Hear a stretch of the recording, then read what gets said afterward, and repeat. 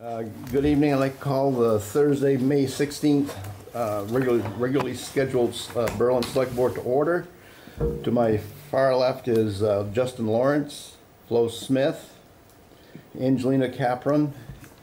With us also is Dana Hadley and Diane Isabel, and I'm Brad Town Chair. Um, Additions and changes to the agenda, Dana? Uh, No, I have none. Uh, Public comment. Hearing none, uh, treasurer's report, Diane. Okay. I've given the April budget status report, trial balance and delinquent tax report to the select board. Uh, one thing I wanted to bring up is that sending tax bills this year might be a little bit different. Uh, because of the school merger, uh, we're get, everything's being delayed as far as I know right now. I mean, there's a lot of balls up in the air and we're not gonna know, uh, more until probably in June. And so, um, on June twenty-fifth, if everything goes as it's going right now, um, there'll be a vote, okay, and that would be all the districts voting for the school budget. And if that passes, then there's still a thirty-day waiting period, uh, that somebody could appeal. And if nobody appeals, then as of July twenty-fifth, potentially, we could mail out tax bills. Well, normally we mail out tax bills by July fifteenth. So, um, and that's, this would be like the best case scenario. If the vote is not, does not pass, then I don't know what the next step is. There, like I say, there's other things that are up in the air that I'm not really sure of. Uh, for instance, we, uh, the taxpayers voted for August fifteenth to be the first payment date. And if I send out tax bills July, uh, twenty-fifth, that can't be. So, uh, like I say, as time goes on with every meeting, I should know more and more, and I will let you know. But if I send tax bills out late, that means the money will not be coming in as early.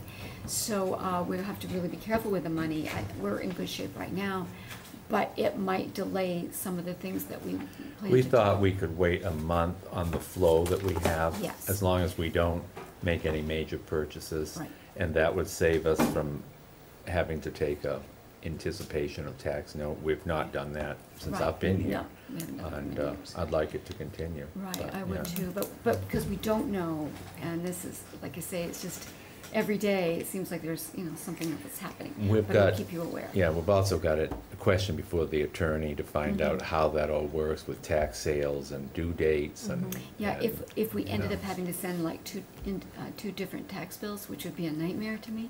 But if that ends up being the case, then how does this all work? Right. As far as the tax sale, et cetera. So like I said, there's a lot of questions, and as time goes along, we'll have the answers, but one step at a time, I guess. But I Right. wanted to forewarn everybody that tax bills may not be going out by July Thank fifteenth. you. That's a report saying we don't know. Beware. Yeah. But that's all I've got. Okay, thank you, Diane. Um, so I make the motion that we accept the treasurer's report. Second motion. Any further discussion? All those in favor? Aye. Aye. Hmm. Motion carries. Um, See, uh, you're still going through the uh, bills. Yes. Um, Your first appointment, Brad, it's not Allison that's here, it's Eileen is here in her place. uh, Then somebody from down street.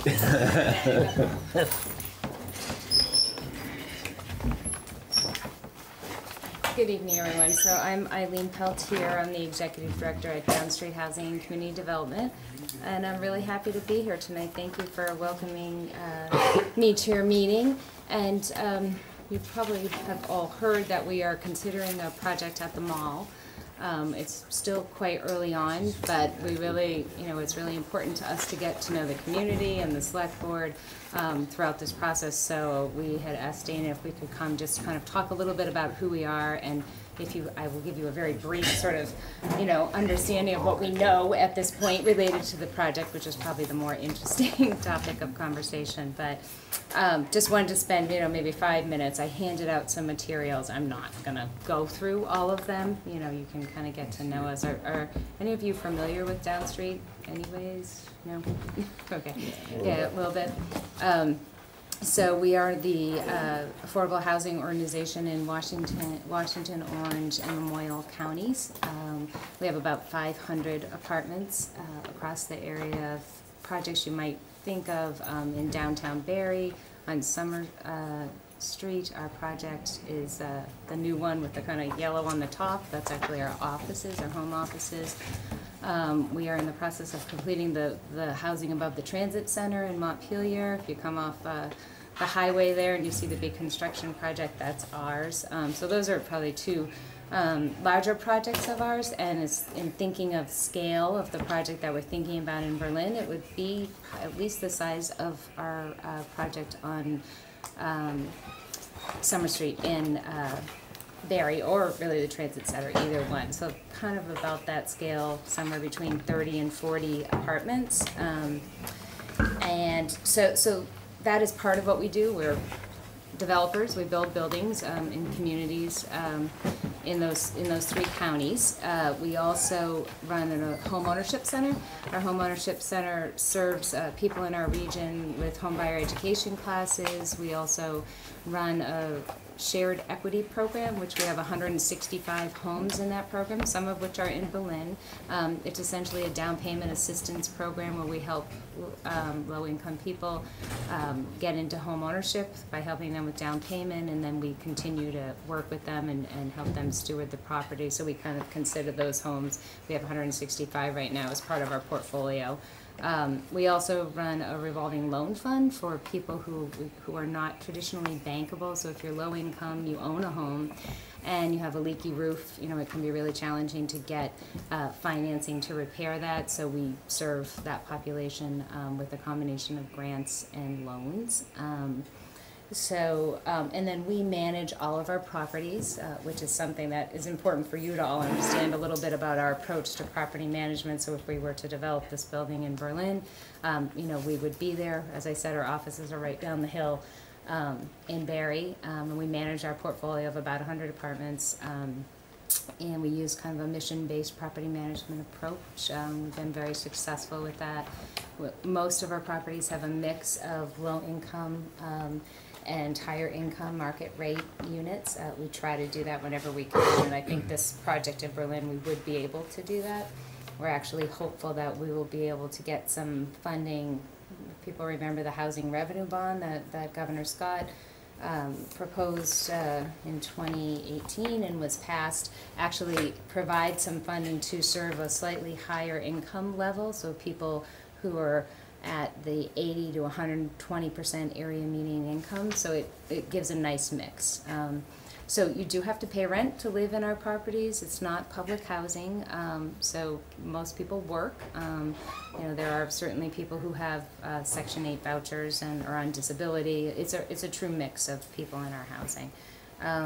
And we're very committed to providing uh, services for the people living in our housing. Uh, we were part of the group that started SASH, which is called Support and Services at Home.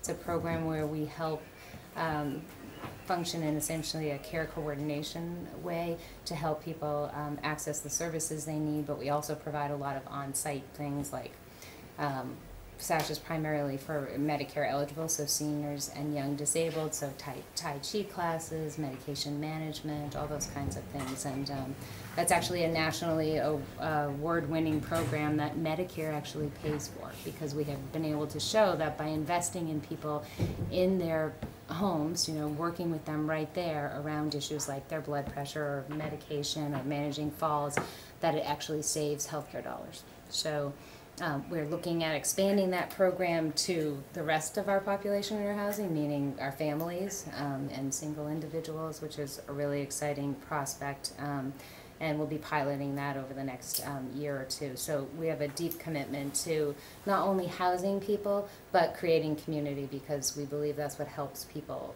thrive. Um, so a long time ago, we recognized that four walls and a roof are great, but they're truly not enough for many individuals. We all need um, more than just four walls and a roof, and one of the things we need most is community. So when we do real estate development, one of the most important things for for you all to understand is that we don't come into communities and just do projects. We, the reason I wanted to come tonight is we want support from the community. Um, you know, um, and most of the time the community approaches us. Um, so of course I'm well aware of all the talk around the new town center and all the work that you're doing with that. This Berlin Mall project has been kind of on our radar for many years. Um, and when we were first approached about it, our position was, this really sounds great, we're excited about what the town is doing, but we'd like to see somebody else commit to having someone live there. We just felt that getting our funders to invest in this project, to be the first one in, would be difficult. So pretty much the minute we understood that the Duseviches were gonna go forward with their project, we said, okay, you know.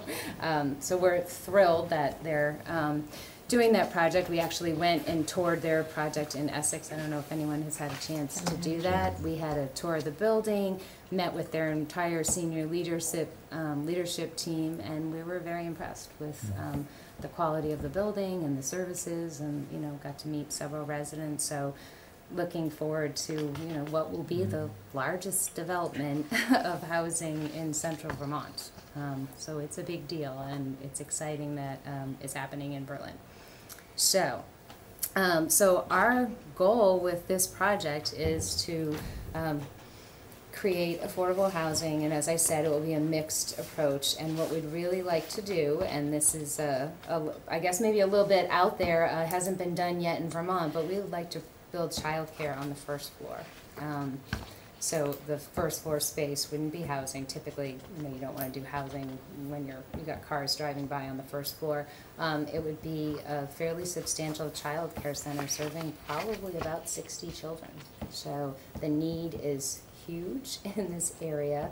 We've talked with several child care providers. Um, I think again, it would be a mix of serving lower income and market rate. We're also gonna be speaking with the employers in the area, Blue Cross Blue Shield, Central Vermont Medical Center, even National Life, you know. Um, as you know, there are a lot of people working in and around, uh, this area, so we think it would be an ideal location. There's transportation with busing, um, it's right off the highway, um, and it serves a really um, strong community need, so both for affordable housing and um, childcare. So I'll just direct you to um, just to to page three where I talk a little bit about um, Vermont still has a housing need. Um, so Vermont, um, we do a lot of things really well, and for a lot of reasons, partly because we're a rural state. Um, you know, we're in the Northeast and it's cold, and uh, housing is expensive. Living in Vermont is expensive. We have the fifth largest affordability gap in the nation, meaning that's the difference between um, someone's average hourly wage and what they would need to pay. So um, that's pretty significant, um, and that is within a structure within the state of Vermont where we actually have a very strong affordable housing network. We have close to fourteen thousand units in the state, um, between the public housing that you see, like Northbury Manor, um, and the kind of work that I do, which is, we call ourselves community development corporations, and they're typically, our model is to be kind of on a smaller scale, you know, we're not gonna build a, a ten-story building, um, and very much focused on integrating and working with the community. So um, clearly, there's you know still a very significant need, and for all intensive purposes, um, there is uh, essentially a zero percent vacancy rate in most of central Vermont. If you try to you know call and get an apartment, you have to be lucky, and you need to get on a waiting list. Um, and I'll just mention the the most recent uh, point in time count, which is a count of homelessness in central Vermont, came out yesterday, and our numbers are rising again. Um, we had over a hundred people on, on the day um, that they, so point in time is literally one day they attempt to count the number of homeless people in our community. Um, and I think that is partly rising due to um, a variety of things, but certainly substance use disorder. Um, and I did just want to mention, and I would be happy to come talk to you about this another time, but um, Downstreet is taking the lead in the state to help uh, address the, what is a huge shortage of housing for people who have successfully gotten into treatment Um, the story I tell is people get into treatment, make this really big decision to, to address their substance use disorder, come out the other side and have no place to live. So we are focused on standing up uh, recovery residents across the state and helping to facilitate that with, through my colleagues. There's a bunch of us around the state who do the same kind of work. Um, and it's um, incredibly important work. I serve on the Governor's Opioid Coordination Council, and the experience of hearing the stories and understanding, you know, what Vermont is doing well and what we haven't done as well with. We've done an incredible job um, with getting people into treatment, but we're recognizing that there is a real need um, to help people recover. And recovery is all about same thing I started to talk about at the beginning, housing and community. Um, so we feel like that work sort of fits well um, with us, and we have a goal of developing at least 12 new ones in the next uh, 20 months, but we know there's an immediate need for close to 34 recovery residents around the state. So I don't know if you all have had a chance to talk or, you know, under, uh, see the impact of substance use disorder um, in your communities. I know your police department is pretty phenomenal in dealing with homelessness and, you know, very engaged in that, so I'm sure that they're, you know, aware of it. I just wanted you to know that we're also, um, working on that as well. Um, and if you notice, when you have a chance to look at this, we, we highlighted childcare in our strategic plan, which is essentially what this is. Um, just from getting feedback from all of our communities, we heard over and over again, um, that childcare is a huge challenge. And of course, we're not gonna run a childcare, but one of the big challenges with childcare is the physical space, getting the space right, you know, having the outlets where it needs to be, meeting all the requirements. So that's what we can bring to the conversation is sort of the infrastructure. Um, and when we've spoken to childcare groups, they, they have said that it's really hard to adapt existing spaces. So when we have an opportunity to build new, which we don't have all that often um, in central Vermont, um, we really need to be thinking about childcare. So, so our hope is to be able to do that. So I'm going to just stop, and if you have any questions uh, at this point, um, I'm happy to answer them. It's very impressive how much has gone into your planning. It's a journey. I mean, it takes us a long time to do these projects. Um, I've been doing this for 11 years now, and I'm still sometimes surprised at um, how much work it is to do each one of these projects. But, you know, it is a huge investment of community assets, otherwise known as your tax dollars, at some point, and we want to do it right. And we're very respectful and mindful of that. We Downstreet currently stewards about eighty million dollars worth of community assets through our portfolio of buildings, through those five hundred apartments, and we take that, that responsibility very seriously. And through what you're doing, you're also promoting the independence of the individuals as well. Right, and that, you know, it's, having been in this kind of work for a very long time, um, I know that, you know, some people can kind of think, well, people, they're not working, they're not doing what they need to do, they're not trying, and, and, you know, my experience of this work is after, you know, working with so many individuals, people have incredible challenges. Um, and it's not just financial, you know, their, their generational poverty has a lot of different aspects to it, and, you know, missing an opportunity for education, social connectedness, so many things need to, health issues, mental health issues, so many things come into play, and, and when you see someone have a challenge in one area, for example, their car breaks down, um, the next thing you know, they're losing their job because they can't get to work. And, you know, I often say to people, um, you know, many of us are fortunate enough if our car breaks down, we can write a check. And if we can't write a check, we have a friend who can help us or a family member. And often that's not the case for a lot of people. And unfortunately, more and more people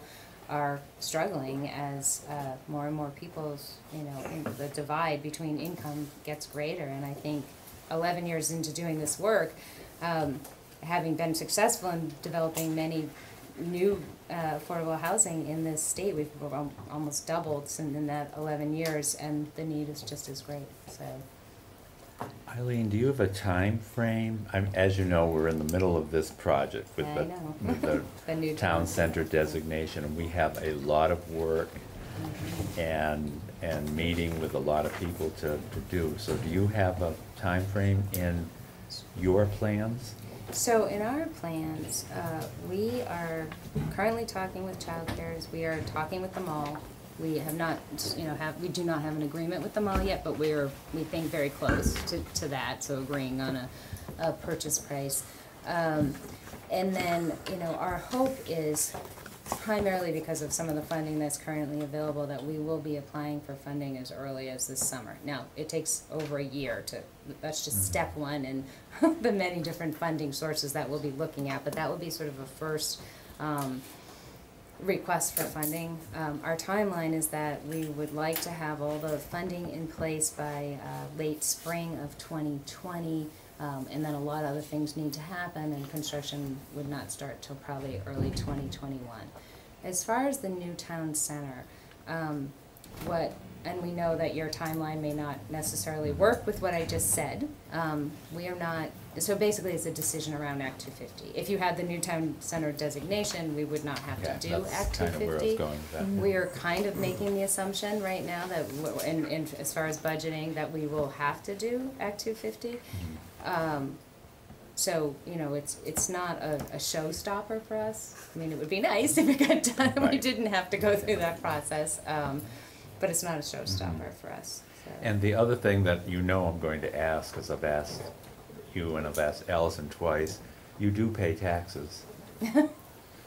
Yes, so we do not pay taxes at the level of uh, the appraised value.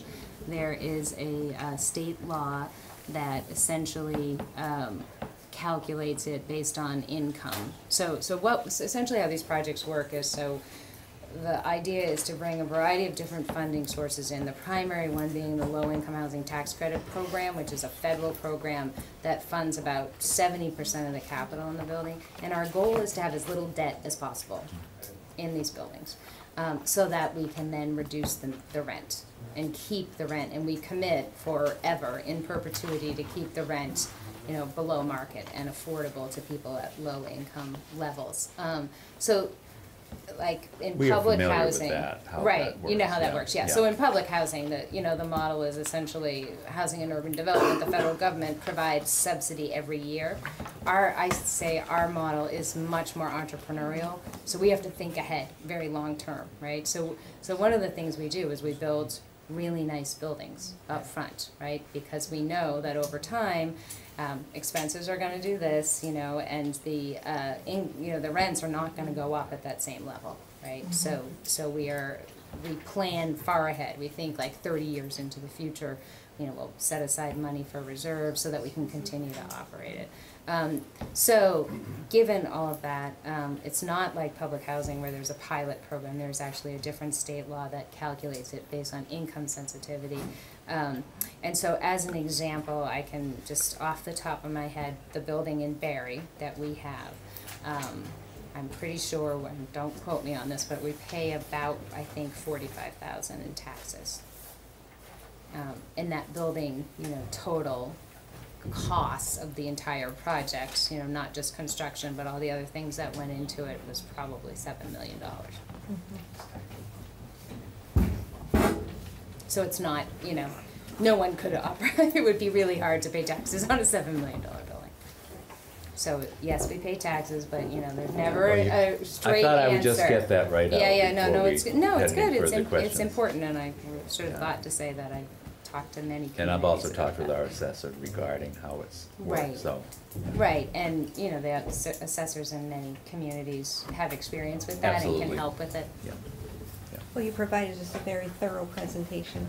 It's helpful, Okay, very much so. any other questions? All right, I'm just curious if down the road you'll, how to help the town get through to the town center project, if they'd be willing to participate at all in that.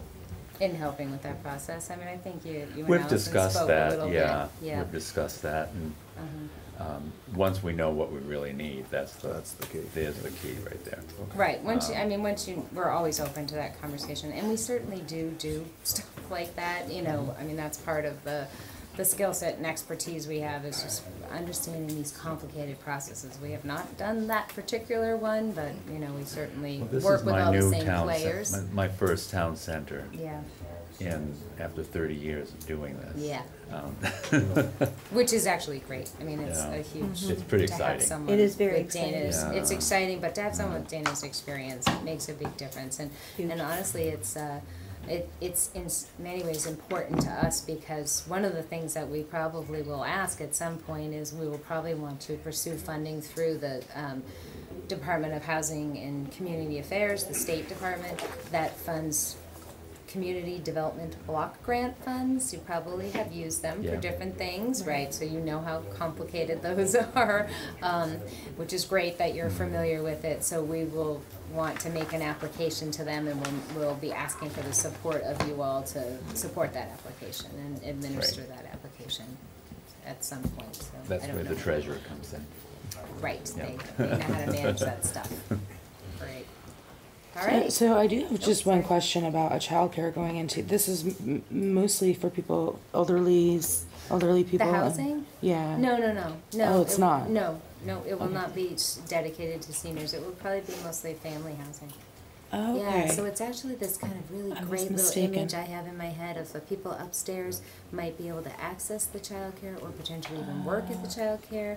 The seniors can come across the street. There's the senior volunteer program where they can come across and, you know, read books and interact with the kids. Um, there, there's plenty of land there. Berlin Elementary is not Mm-hmm. far. You know, when, when all the issues you were just talking about with the merger get resolved, we'd love to um, figure out a way to have a path through there, which I think requires constructing a bridge, cause there's, it's pretty wet in there in some places, but it would be wonderful to have the ability to connect it over to the fields and the, and the school there, so I think there's a lot of potential for that. And I think a vibrant community like ours too, like the sixty openings would fill up really quickly. Because like you Yes. said, all of the businesses are tied together. Right, no, the Sixty is a need- lot, and at the same time, I think it will fill up real quickly. I mean, Morrisville just opened a childcare through Capstone Community Action, opened it a year ago, and I believe it's forty-five spots, and they didn't have any problem Right. filling it up, it's Yeah. just, there's such a need. Mhm, There's a for huge child. I'm sure you all all throughout. know this, I know that just within my own staff, there's four or five people who have really struggled, so. Does that help? Yes. Thank you.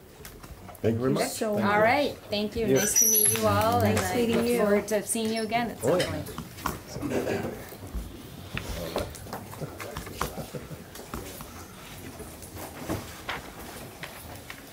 Where did I get that idea?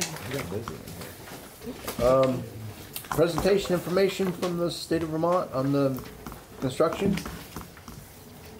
Exit six. Hello again.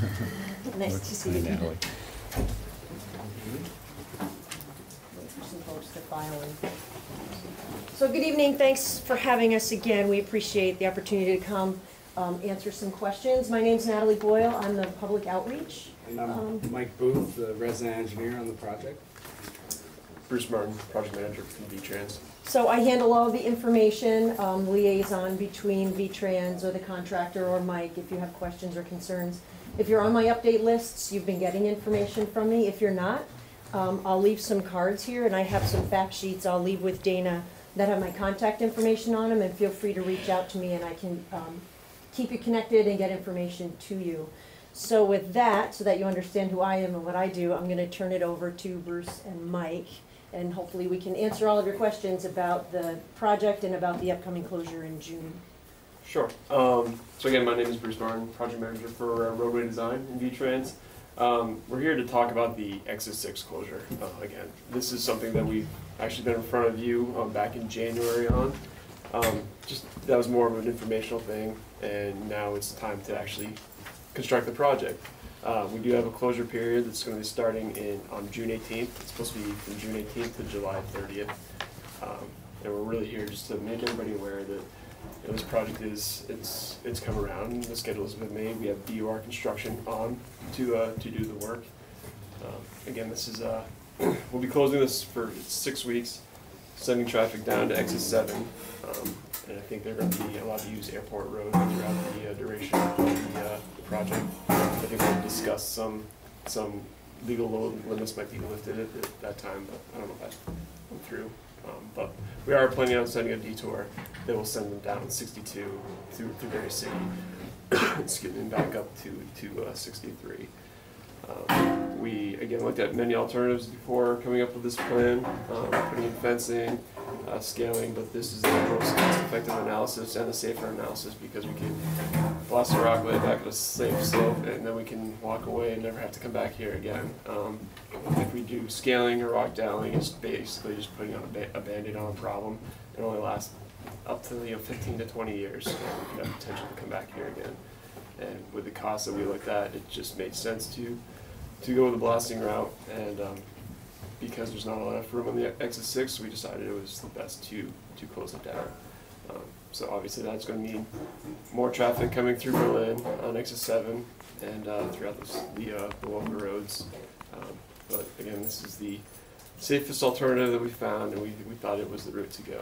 So we're back in front of you, kind of this is a, a pre-closure meeting for everybody, just to let everyone know that you know time has come. We're we're a month away. Uh, we have a contractor on board. They, if everybody's driven by there, you can see that they started doing some clearing. You can see just how much rock we are dealing with. Uh, there's quite a bit of material that we're taking out. I think it's Forty-three thousand eight hundred yards. 43,000 cubic yards. So there's a lot of material that's coming, and um, we're looking to get uh, BUR started to blast in, in and out of there quickly, and then open that, the uh, exit six back up again.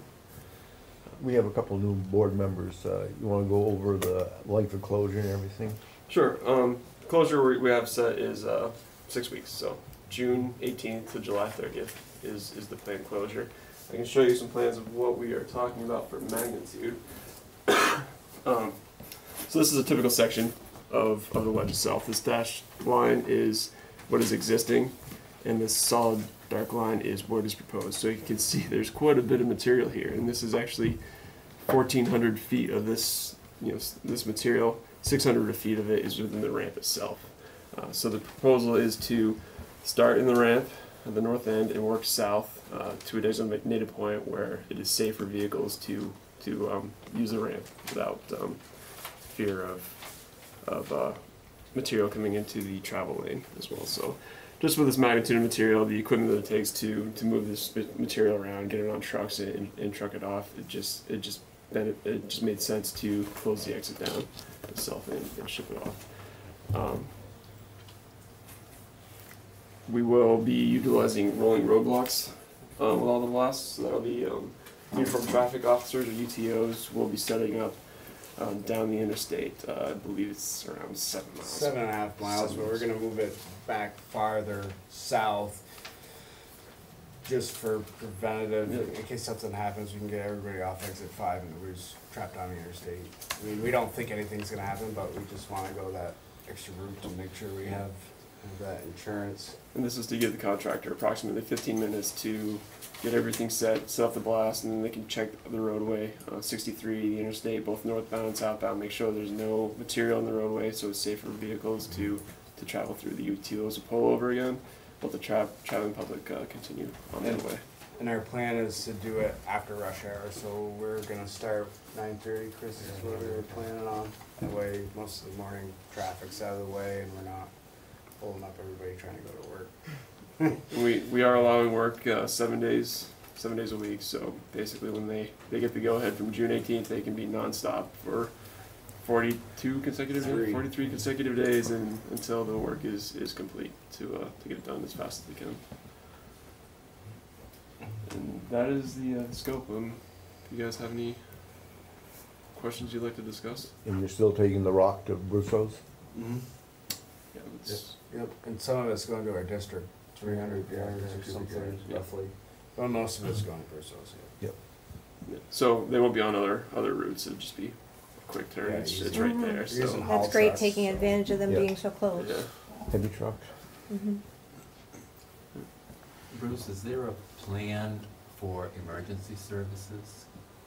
You've all been in contact with emergency services. Yeah, throughout, we uh, actually had a meeting, not yesterday, the day before, with uh, the sheriff, the district, uh, the VSP's been notified, and we have a plan. That's why we're starting the road, roadblock back farther, just in the event that something does happen, and we have to close it down for a period so they can either fix the road or remove a large boulder.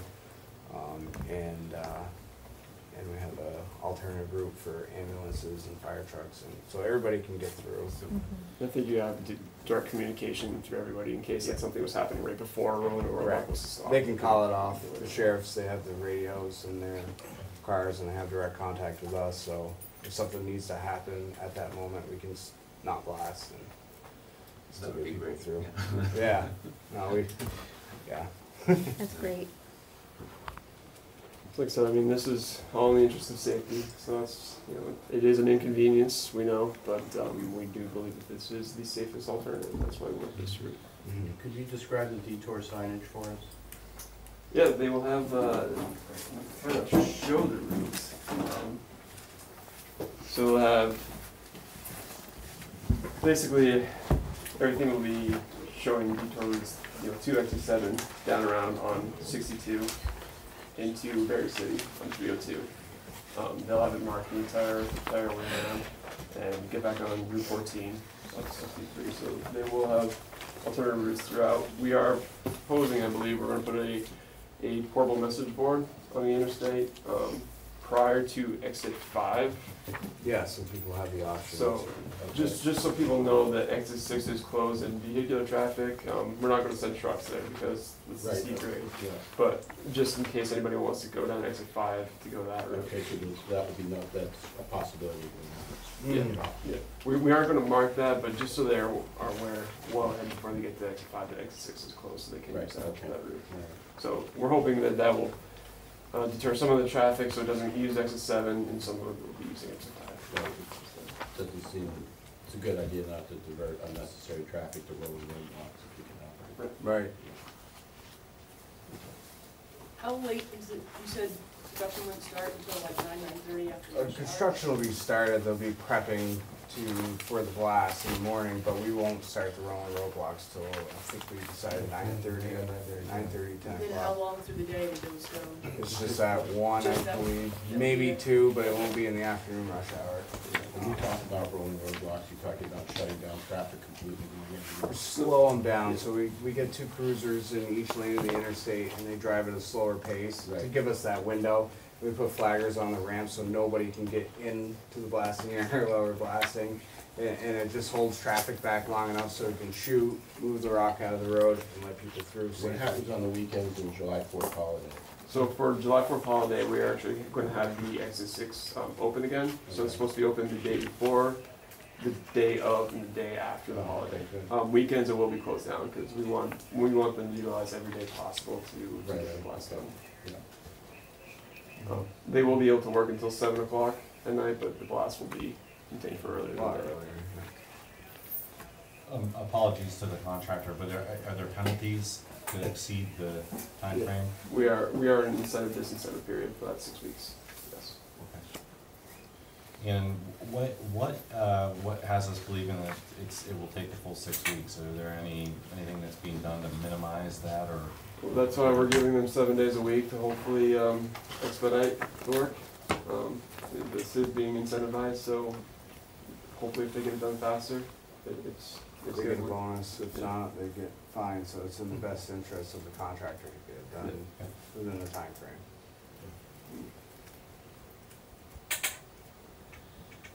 Any more questions for them about safety or anything? Um, like Natalie said, she is sending out um, notices, so if anybody's not on her email list, she's gonna be giving updates uh, throughout I the do. PDF project. do you want me to leave Um, them here? I'll actually leave them on the But back. like I said, June eight- June eighteenth is when our incentive uh, period starts, or the closing period starts. So that's when we can expect, uh, expect the work to really be, be moving. Any other questions for the V-Trans? The additional eighteen wheelers going through Barre Town, Barre City, that area, is that gonna be an issue? We aren't expecting any to go there, because, um, the Russo pit is right there, so that's where most of the materials. I meant like eight, the eighteen going down exit seven instead of exit six. Oh, okay, yeah. Um,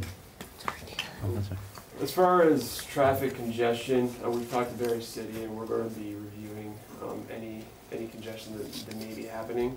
Um, and we can, our, you know, can help work with them on Mhm. timing, um, because there's longer queues, we may be able to work with timing to allow the traffic to go Right. through the faster. What is the approximate car count that, that comes off that exit a day, do you know? Uh, do, used to know. Um, That was a while ago. that was a while ago. I had it all for the informational meetings. Um, it's a few thousand, I believe, per day. I can't think of it off the top of my head. That is something I can provide. Actually, I might.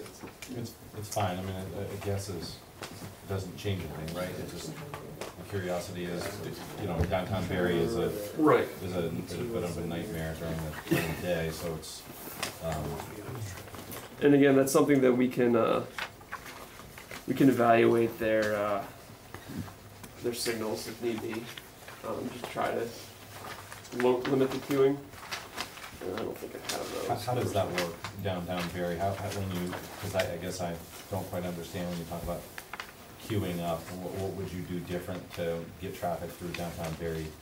It's um the timing like some you're you're gonna have like some side streets that you're not going to get as many vehicles coming onto Main Street while Main Street is going to be getting the, the flow of the traffic. So you can increase the length of the green for the um, the signals on Main Street to allow more vehicles to get through I see. while holding more vehicles on the side street And that's something you're working with, you would be working with them as, as it progresses? as needed. Yeah, it- Sure. it's something that we can't predict now. We have to really see it in place until we can can um, put, you know do any changes for that.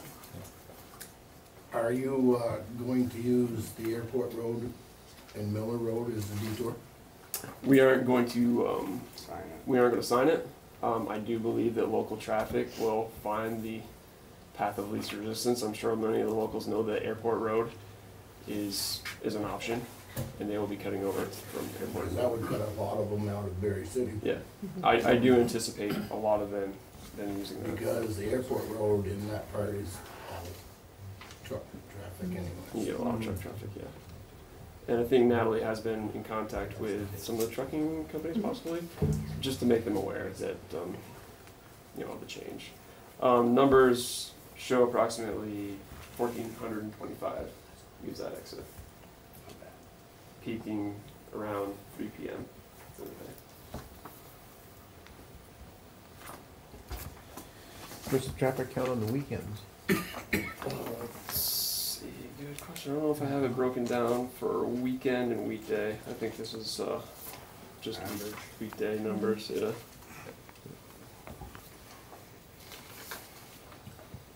We do have truck numbers, which it shows like single trailer trucks, they're approximately seventy-nine, which is, you know, two percent of the total, total traffic they use at exit, so an additional seventy-nine per day would be going down through Barre City.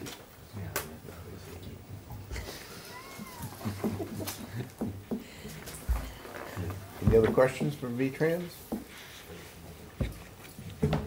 Thank you folks very much. All right, thank you all. Thank you all. Time, we appreciate it. Did you see that? Uh, this is real. Yes. But did you see that? No. Here, yeah.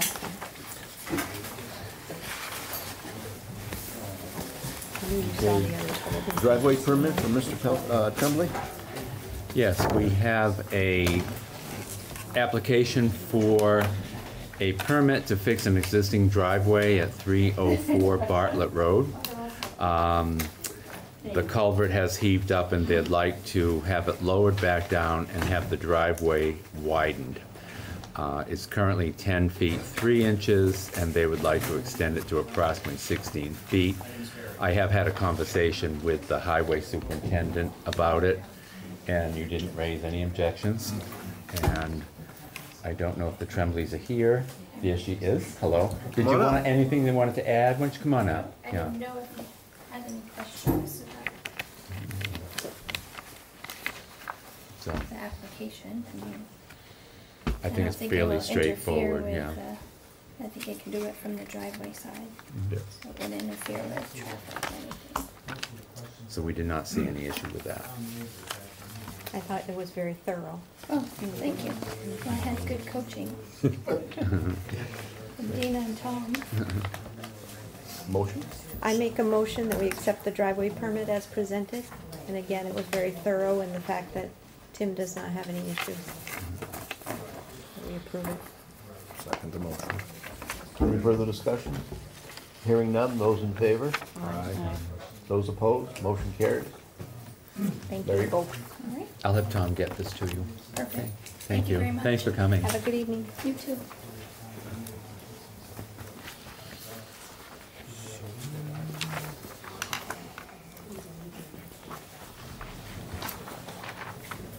Thank you.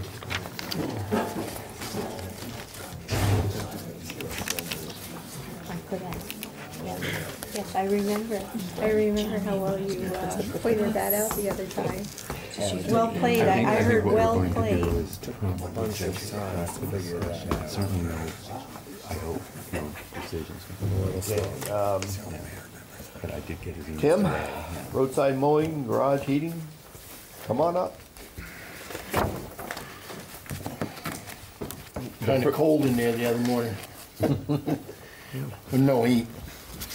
We had put out the uh, roadside mowing bids, they were due today. We received two. I usually give you a cheat sheet, but I didn't have names on these, so I didn't cheat. So if you, if you need me to help you remember what the bids are, I can do that.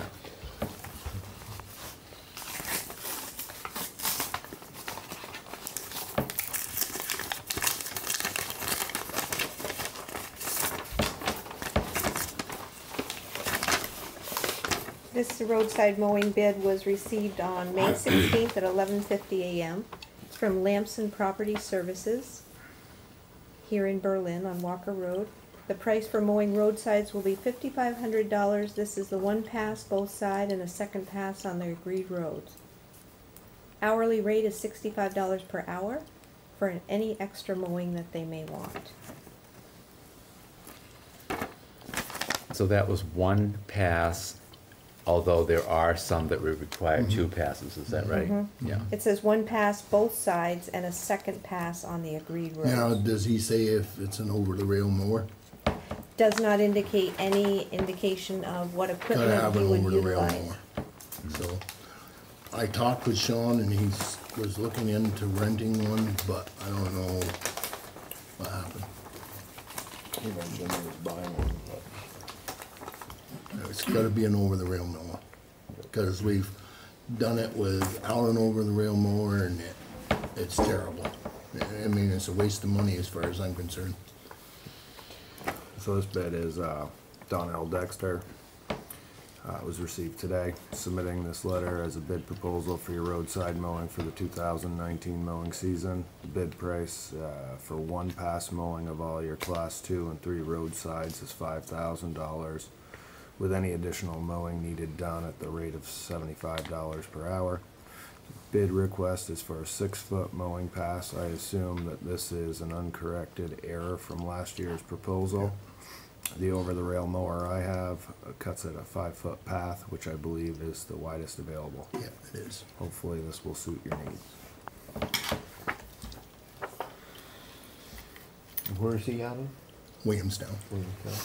We use, well, we've used both of these vendors before. Yeah. Donnell did it last year. Happy with? Very. Well, and a lot of people say it's the best they've ever seen done, so, I mean,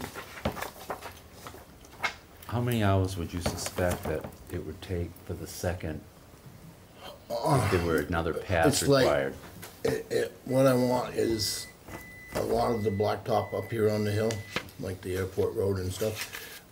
But Payne Turnpike, a lot of them are lawns, so there's no mowing anyways. And Fisher Road and Granger Road, there's, you know, there's, it's mainly around the airport, Scott Hill area, um, Crosstown Road, uh, Coxbrook. Anywhere's that it's a problem, and last year, he did most of our intersections with two passes, you know, to get, so Better you could. picture? Yeah, and he didn't, that was, he didn't charge us for that. The only thing that he charged me extra was for the airport, Scott Hill, and where I went around with him and showed him where I wanted two passes done. So, it was You- not, I think it was like, I wanna say like five hours. Do you remember what the total was for his mowing? Um, no, Dana probably could find out. I could find out, I don't. I don't remember. But I- I it's think- similar to I this, think it was similar to like, this. I think it was like fifty-two, Yeah. I, that's what I was gonna say, somewhere in there. somewhere's in there. It I was certainly could very, get it it. wasn't, it wasn't a whole lot. I mean, Over his bid. yeah, So he went five hours over the, So you estimate five hours for the second? Yeah, yeah. For the second cutting, so it's seventy-five an hour, about Yeah, I don't know what he fourteen charged us fifty or last year. fifteen hundred, something like that. so you can get the, you'll know, you can find out how much he charged last year, right? Sure, yeah. I think, it- I think the mowing itself was the same. I don't know what he charged per hour Yeah, I was last talking year. about the extra. Yeah, I, I don't, many hours or I- whatever. probably, is it- his mowing is, the bid is the same as what it was last year. If you would like, I can go look now. But you say he's, uh, Sean hasn't got a, uh, over the. Well, he, I talked to him the other day and he was gonna rent one for a week. Timmy, Yeah. you won't find one? He's got I, one. he's got one with Tenco, Huh? He's got one ready, available. at Tenco, Huh? Okay. the third week of July. I think he found one to buy, he said, too, different one. Oh. I don't know. He, I know he looked, he was looking at one last year to buy, and it was only a three-foot one, Yeah, and, I mean, can't do three feet, you gotta do. no, cause then you're not, you're not gonna get a good job, because you're gonna have that, you're gonna miss it in Different the height. middle.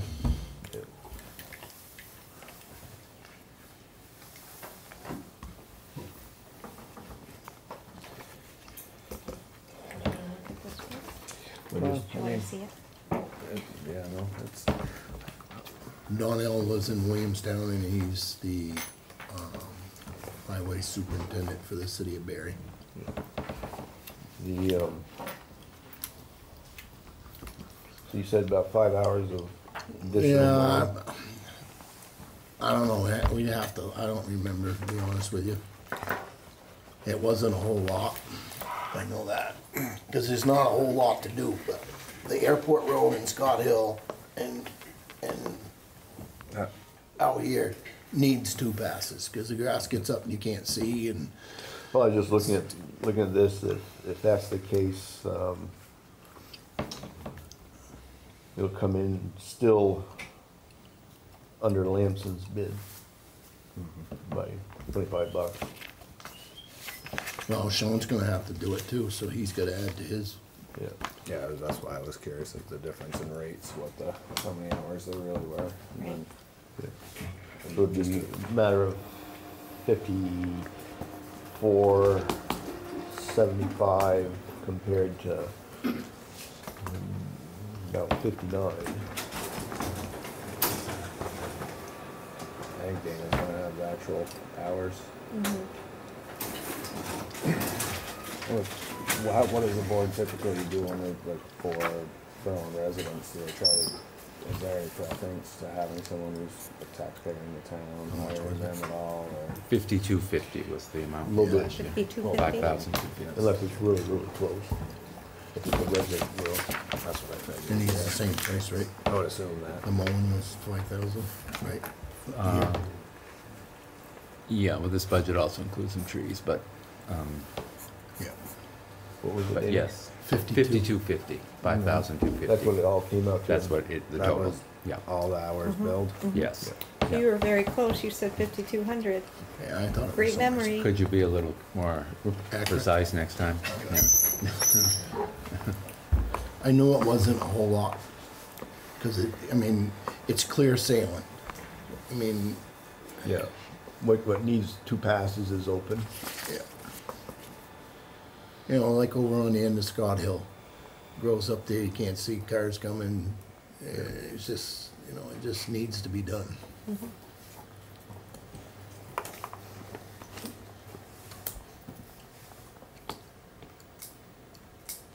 And I took him around, showed him all the roads, and he didn't miss a one. How did Lamson do when he did it? Huh? How did Sean do when he did it?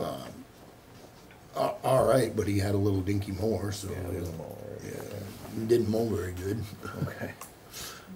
It was, it wasn't over the rail. That's, you gotta have an over the rail. Yep. Because if you don't, you're not gonna you're not gonna get a good cut. Cause you, the problem you got is that you get it too close to the ditches and you're gonna be in the ditches. Yep. Your motion? I make a motion that we accept the Donnell Dexter as the low bid, um, unless there's further discussion or concerns. Your second? A second. Any further discussion? No. Those in favor? Aye. Aye. Aye. Those opposed? Motion carries. Next on the list here is your heating system. You remember last time when I spoke to you about the heating system, I couldn't find one of the quotes. And so I called Gillespie and got a copy, and then, of course, I promptly found the original one, so there, there we go. I wasn't very surprised either. Um, we have two quotes, um, for the same equipment. This is a propane-fired two hundred fifty thousand BTU Modine unit heater. Um, the quote from Gillespie, 4,490 for one, um, Heater. that, oh, okay, that's per heater, four thousand four ninety. The other quote he gave was an oil-fired, um, heater, hundred eighty-five thousand. Um, we were leaning toward the propane, uh, more, that's seventy-one forty-three for that one. And then the price we received from Robert Felch, um, for two units if needed. Um, his was fifty-one Well, we're gonna, thirty-three. we have to have Well, that two. was, that was something else. This was, I think if you look over here, it's to install two new. Mhm. Yeah, Both of them being new, and I did notice that it was two and slightly larger, three Right. hundred thousand as opposed to the three hundred thousand, 250. yes, yes, right. And since we first started this, this discussion, the other Furnace furnace died. has, has, uh, Do up the ghost. it must have heard the other one was broken, so it thought it would keep it up. Sees what Mother Nature is up to. It's a fairly significant difference for, Um, And yeah, is the quote from all of them all hanging furnaces? Yes, they have to And that's be. what you need, Yeah. right? I just They- wasn't sure they if can all of them were use- hanging. They can use the existing pipes for the uh, exhaust. They're just gonna hang them right in the same place our oil furnaces are hanging. The only thing that's different is that they gotta repipe the fuel into them. Then does Felch's include the electric too?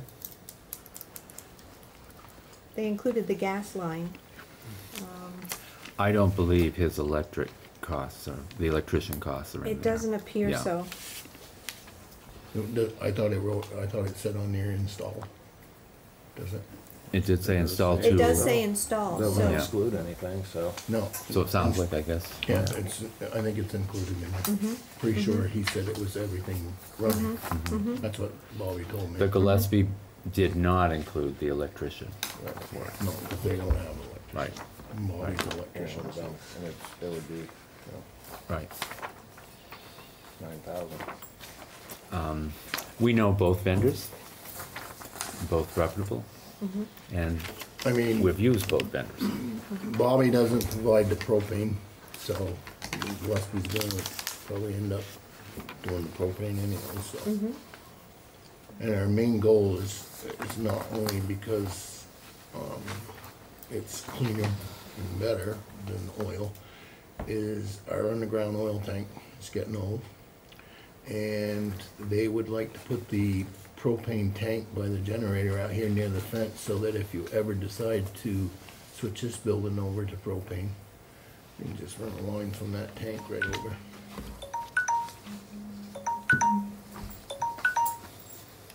If there's no further discussion, I make a motion that we accept Robert Felch's quote um, for two new BTU hanging gas furnaces. It's the lowest bid based on two, and it's a bigger system. Second that motion. Um, I'm going to do the digging. we've gotta cut our blacktop over there and put a ditch for the, for the line, but Bobby suggested to make sure that we, it's plastic. The line is plastic. What, sleeve it or? No, the line is plastic. And he said put it in conduit under the driveway. Just to be on the safe side. And just come up the side of the building with a ninety degree, uh, it's, it's, uh, the line is an inch and a half, I thi- think he said, or an inch and a quarter line that feeds them. So um, if I went with two inch conduit, you can just shove the line right through it. Yes, as a sleeve. Yeah. That way, if anything ever happened, we don't have to dig the yard up again and just pull it out. That's it. Excellent. So this one from uh, Bobby Felch says uh, quantity one, but it's for two heaters? For two, Two. yeah. So it's one. On the- one on- Quote number. And then if you look over here, install. It's on the two. right, under description of work, Brad. There you go, Jim. Yeah. Took me a minute to catch that. I was trying to figure out why the significant price difference, but, I mean, All those in favor of the motion? Aye. Aye. Motion carries. So I guess you can have Bobby start anytime he wants. Thanks for handling the digging too. And the sleep. And you'll make arrangements with Gillespie about the gas? Yeah, I'll call him tomorrow. Okay. I don't know that Bobby got the bid, but we went propane. Right. Mhm. And now we move on to the truck. We, we're under contract with Gillespie, right? Yes. Yes. Okay, highway truck? Come on up. Yeah, the chair, Mike, if you want. I'm support. I'll, I'll stand over here. Yes. Support. Wanna- I'm just support. Good evening. Good evening. How we doing? Good. I won't knock that precious sign over there. Well, I appreciate that. Um, Tim, I'm Dan Saints here from Clark Truck Center. Uh, Tim had contacted us about, um, after hearing all the horror stories of how far out new truck deliveries are, um, asked about when, when do we need to start talking about one for this next year? Um, and currently eh, placing an order, at this point in time, trucks are being built out in March and April of next year. The order boards are, are that filled, so we discussed a couple different options with him, and, um, we have, as we have in the past, I think a couple of your trucks so far have been stock units that we have been building and, and together with HP Fairfield Company here, and, um, I think they, that the town has purchased them. Um, the one that we're trading came from Tenco and that was, that was, um, same thing. They, they had it as a demo. Correct, at that time. Yeah. So, we have one currently on order that is actually building in, uh, middle to end of August at this point in time, Berlin blue, imagine that. Uh, we just picked some different colors throughout the year of what we can, what, uh, people may buy. Um, not that we had an idea of this, it just happened to be a good time, I, I guess, at this point in the game.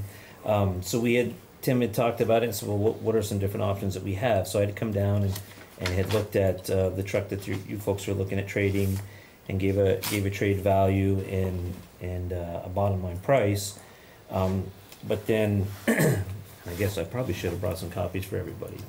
Tim, in the past, we've had some differences in, in, um, extended warranties, five years, six years. I know you keep your truck seven, well, we now have the option of having all seven years of full coverage of them now.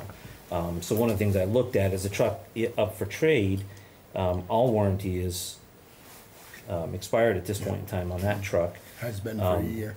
Correct. Has been expired, so with the truck that we have being built to be ready to go, uh, for winter timeframe this year, um, one of the things that we talked about with Tim, and I did bring extra copies of this for everyone, if it was something of option, let me take one and pass it around, I'm not sure how many. Um, it's a, there's a company that we deal with called Kansas State Bank, and they specialize in municipal leases. Um, and what we had done, I'll wait for a copy here for everybody, just to show some options if it's something you folks are interested in. I know it's not specifically your year plan to purchase, but, um, it, um, it gives you some different options of anything you might be interested in. So if you look at that formal proposal sheet, um, option number one,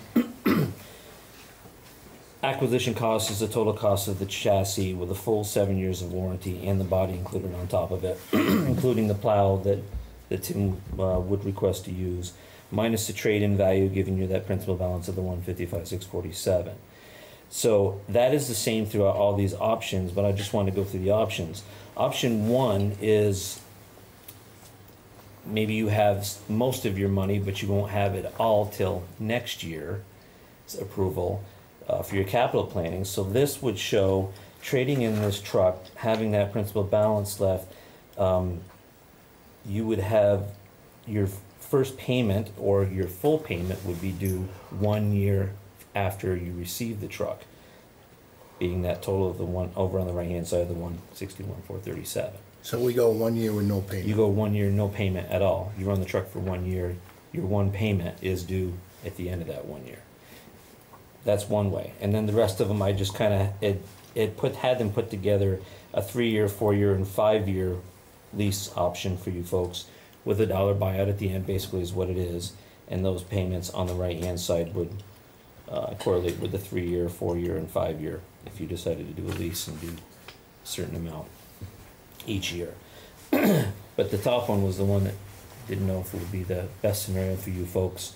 Um, and especially looking at, like I said, I looked at the truck that would be up for trade this year. The warranty has expired on it. And we know in today's world that, uh, one repair can be Cost. very, very easily could match what that interest rate is on, on that amount of money, just to, to, uh, make that payment one year out from when, after you receive delivery of the truck. What would happen if the budget wasn't approved? We don't, we haven't obviously worked in this budget and it hasn't been approved by the voters yet. Is there an opt-out? And if that would be the case, what would, and am I looking right at it? Well, I think is, there's something in the bottom of that, um, lease proposal. Of course, the leasing stuff doesn't all get situated until Right, I meant, you know. truck's ready to deliver and the town goes through that process of that.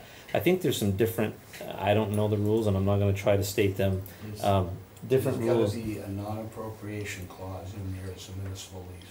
Correct. Yeah. Um, and I think Yeah. that raises That's, yeah. different avenue versus. That's what I wanted you to tell me. Exactly. Yeah, yeah. Okay. So that means if the, the budget doesn't pass, Right, right. Exactly. If in the event, Because, The budget. because you have to pass a budget Yeah. every year, that has to be in there. but there would be a cost, I mean, worst case scenario, the budget didn't pass. And obviously, we can't give this truck back, but technically, if we had to give the truck back, what would the cost be for using the truck for a year?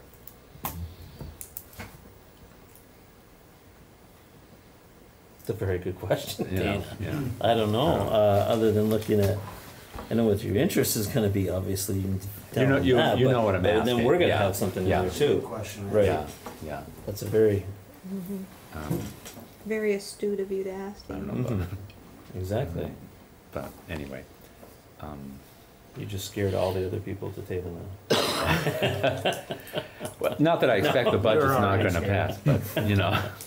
No, it, However- it's, it's funny. We, you know, I, I, I have a lot of questions with different select boards, and that is one that's never been asked, and it makes brings a very good point. We've had very good luck of only spending what people give us permission to spend. Mhm.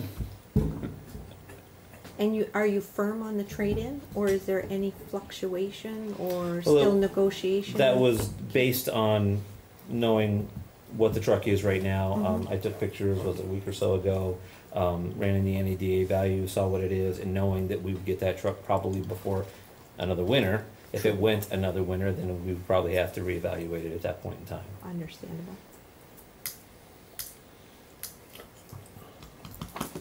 What year is that truck that we're trading? thirteen. Thirteen, I think, yeah. Correct. Mhm.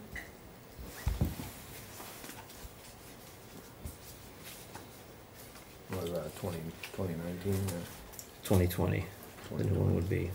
The And new one is. The new one would be, yes. And also, International is still, um, in conjunction with Consolidated Fleet Solutions that there's a thousand dollar rebate that comes back to the town after delivery of the truck as well. Just included this in here for you.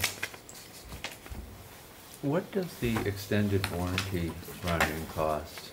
You said that you can go longer than, I have now, we now have the availability to put seven full years of coverage on.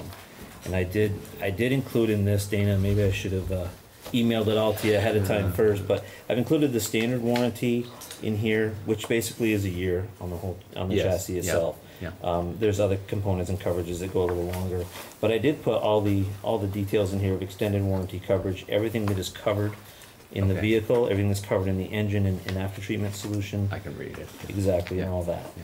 So I put that all in there, and in the past, I think International's had some differences in time frames and mileage and so on and so forth, and, and it never was, uh, you might have five years all on this one truck, there might be five with some six-year increments on other items of this one truck, but now we can do seven years on all of it, which, I said, if you, I called Tim and said, if you, if you're keeping your truck for seven years, wouldn't you like to have seven years of coverage? And he said, yes, we would, if, we haven't been able to in the past, but if we could, that would make sense to do that, so that's what I included in this. Well, it's just like the last one we traded, we got the, the new eighteen.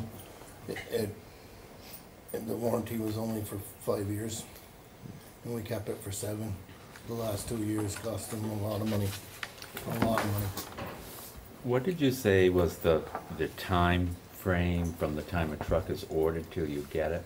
If we were to order a new, if I were to go home and order a new chassis tomorrow, Mhm. The new truck probably won't be built until March-ish, maybe even in April of next year. Oh. Our boards have filled up considerably more than what we ever thought it would. And- And this is why, I mean, it- you know, I saw some faces chuckle when I said Berlin Blue.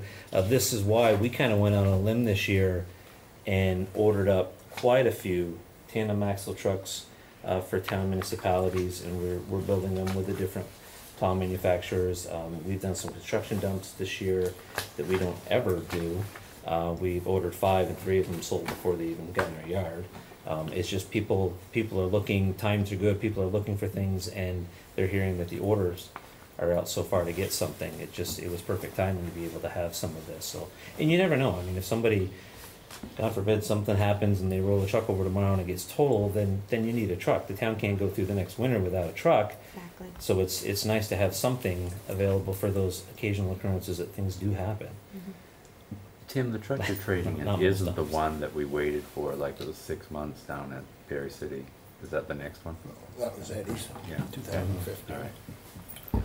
Is there a copy of the finance, the contract in there? Yes, there is, Okay. correct. I just brought extra copies of that for you folks to all see that, but it is all in there, in the last section, yes.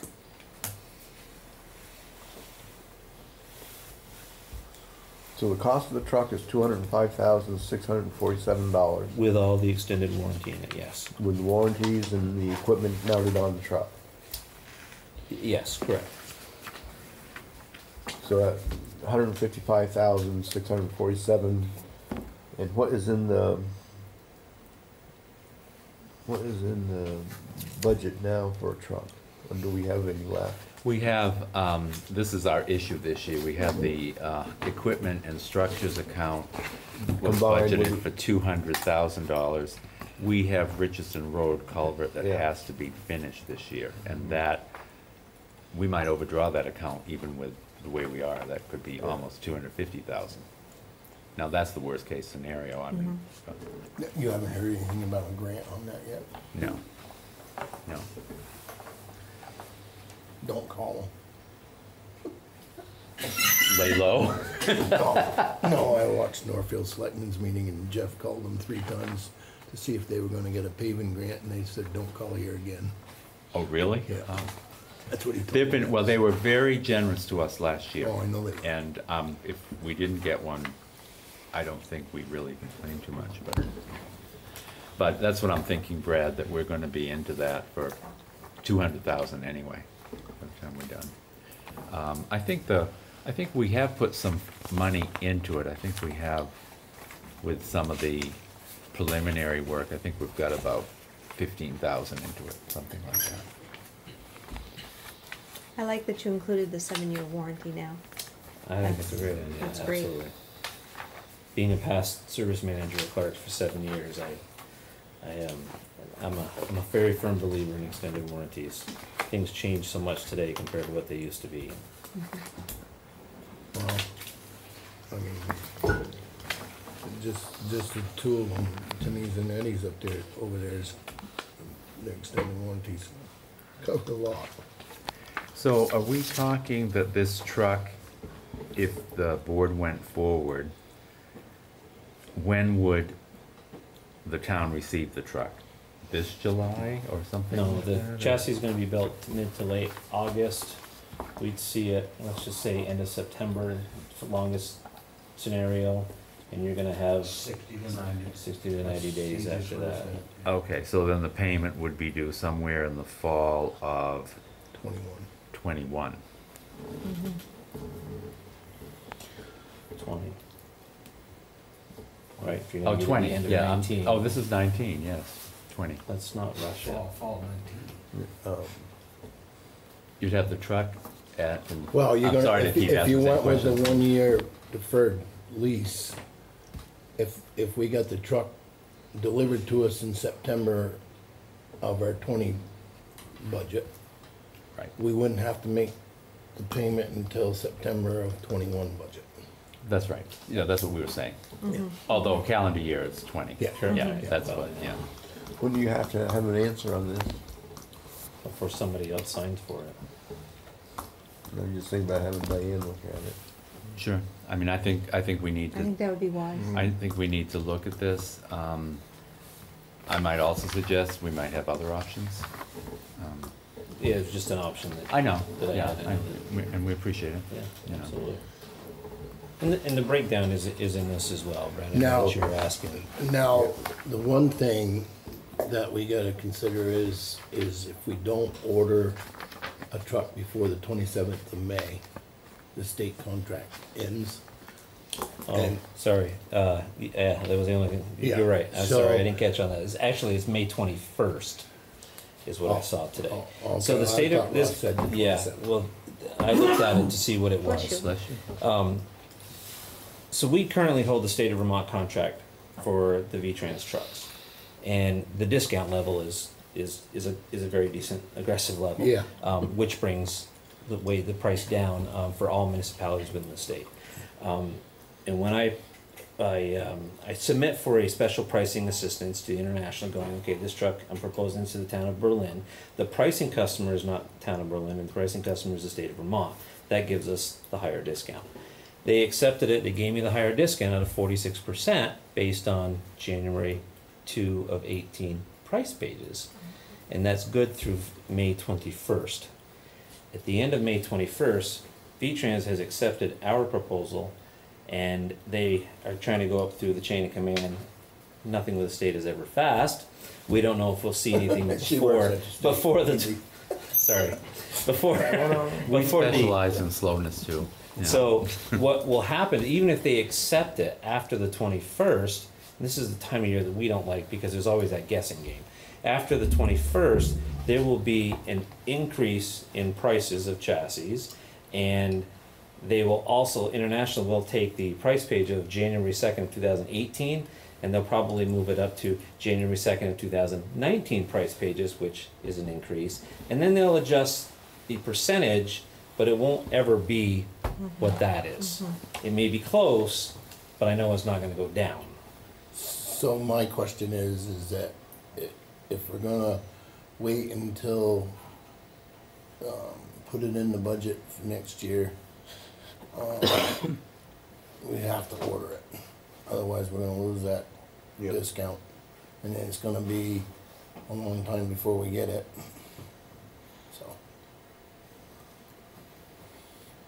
So just out of curiosity, what was, what was your question is, I don't know, I didn't understand that, having Diane look into, what, what did you mean by that? Whether financing options are available for us through Gotcha. local banks and whatnot. Diane's the treasurer. I think we need time to look at this. Absolutely. Um, and frankly, next Tuesday is not gonna give us enough time. Unfortunately, it You know, I don't see what, Yeah, but I mean, th- that's not taking the, the truck this year. This, Oh, I, I understand. yeah, it'll be the next budget year. So, I mean, wha- what it, what it is, is gotta be ordered. I mean, Are usually we- with things if like we this, I order- send them over to if we Rob to have order a look truck at And it. something happened, we, do we have to take it? If we have to order a truck?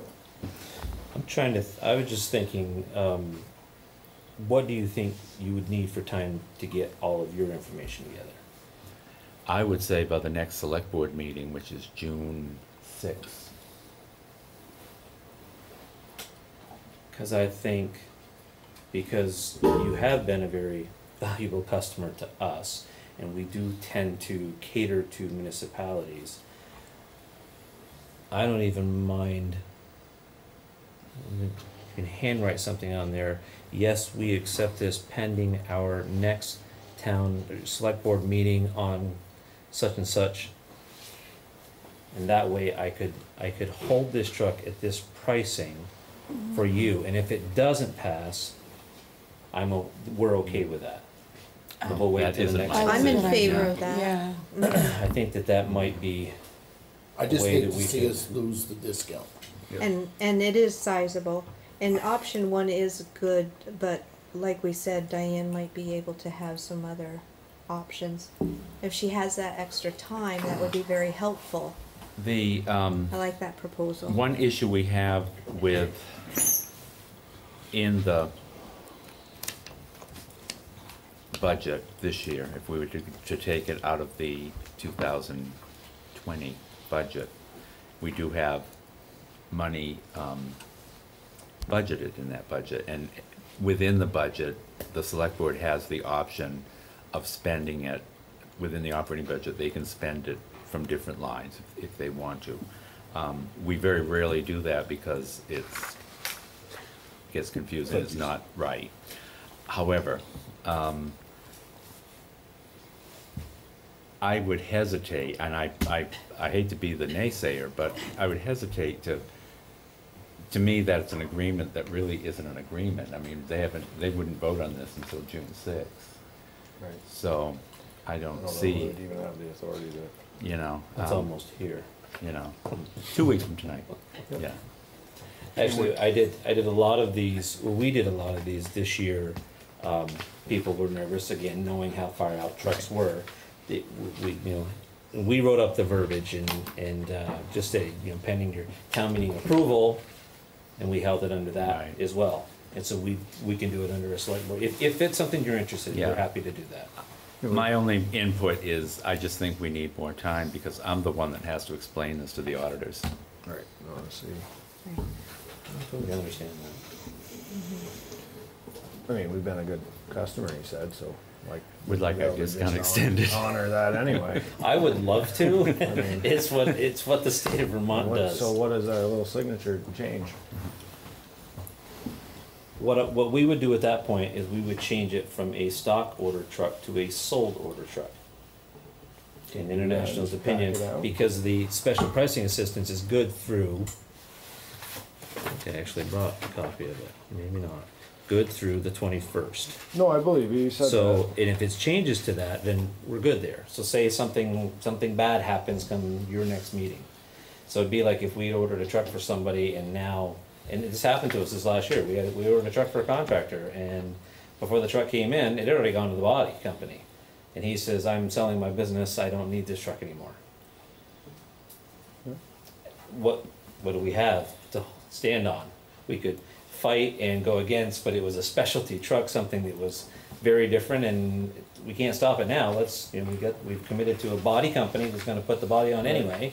So if it doesn't work out for you folks, something else happened, okay, we'll turn around and it'll go back into our stock inventory. And it'll be in our, be in our yard and waiting for somebody else to buy it. Could But you- at a different price structure at that point in time. Could you email me what statement would be to hold the truck, what would be required? Sure. And so that I can send it through our lawyer? Mhm. And I think that's, Yeah. yeah. I've never had an attorney say no yet. So yes, we'd come up with something for you. Well, That it I mean, didn't I work. just think that, you know, it's better. No, and that's, that's totally fine. Better, better than handwriting it on here right now, I get you there. Yeah. Yes, I'd be happy to do that. Because really, I mean, to me, is it a binding agreement is the thing, not really. If the board votes on June sixth not to pursue it. Yeah, I just imagine you could order it with the assumption that we're gonna take it. Well, on this your truck is end. our, this truck is currently on order. It is blue already. though, it's I the know, so, I Berlin mean, blue. Must, must have already planned to order by it, so you could, that's all. We I was ordered just this thinking. truck much, well, I think it was September of last year anyway. Wow. So, it, it's coming, it just, I know that it has a build date Well, take a of long time. August.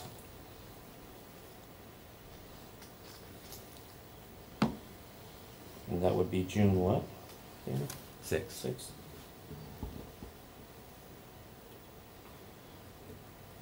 I'm having surgery that day, I don't know if I'll be able to make it. I'm sorry, you'll have to cancel. No, I'm not. I've been since January to get in June sixth. I hope your surgery goes better than mine did. Mine's nothing serious. Probably getting that sex change out. Sorry about that, dude. No. Josh, please. I will do that for you tomorrow, Dana. All right, thank you very much. Yep. Thank you, Dan. Certainly. I will, I will probably let you know, Dan, how that works out by no later than Tuesday, the twenty-first. I don't, I hate putting that sort of pressure on, that's not me, that's not how I like to do things, but I just, like I said, it's that time of year thing where that, the end of the state V-Trans contract is coming to an end, and they're, they're allowing and, and proposing to go forward another extra year with it, but they don't, they wait till the last minute to do it, and so. Can you do something about it? I'll take it under advisement. Thank you. You're welcome. Thank you. Absolutely. Yeah, thank you. Have a wonderful I know I night. didn't talk. As well. Oh, you came for support, like you said. We'll let him talk the next time. There Thanks you for coming go. over. Have a good night, gentlemen. You as well.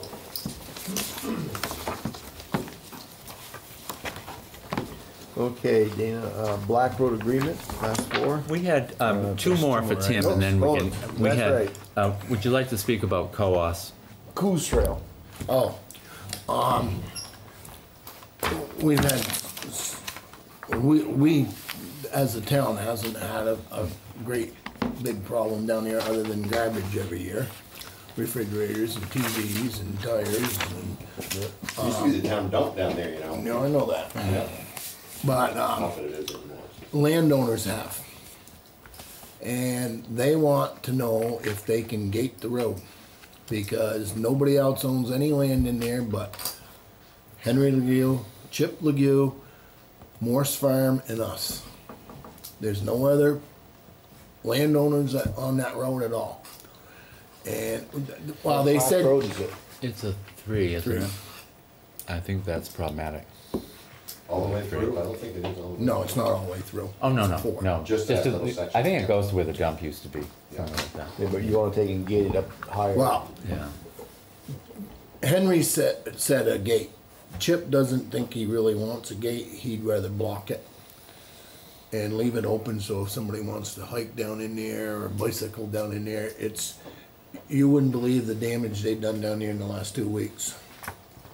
And then Berlin PD got called, had to go down there, and the guy just tore everything up, lost his four-wheel drive and his thing, didn't have a driver's license.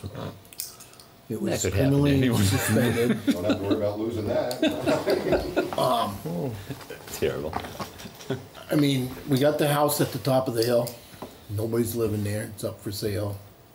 And you, and probably Mr. Legue will own it someday because What's involved in getting Coos Trail, uh, down to? Change to a class Four. four. Um, I think you'd have to have a public hearing on it, and then it'd be a vote of the board.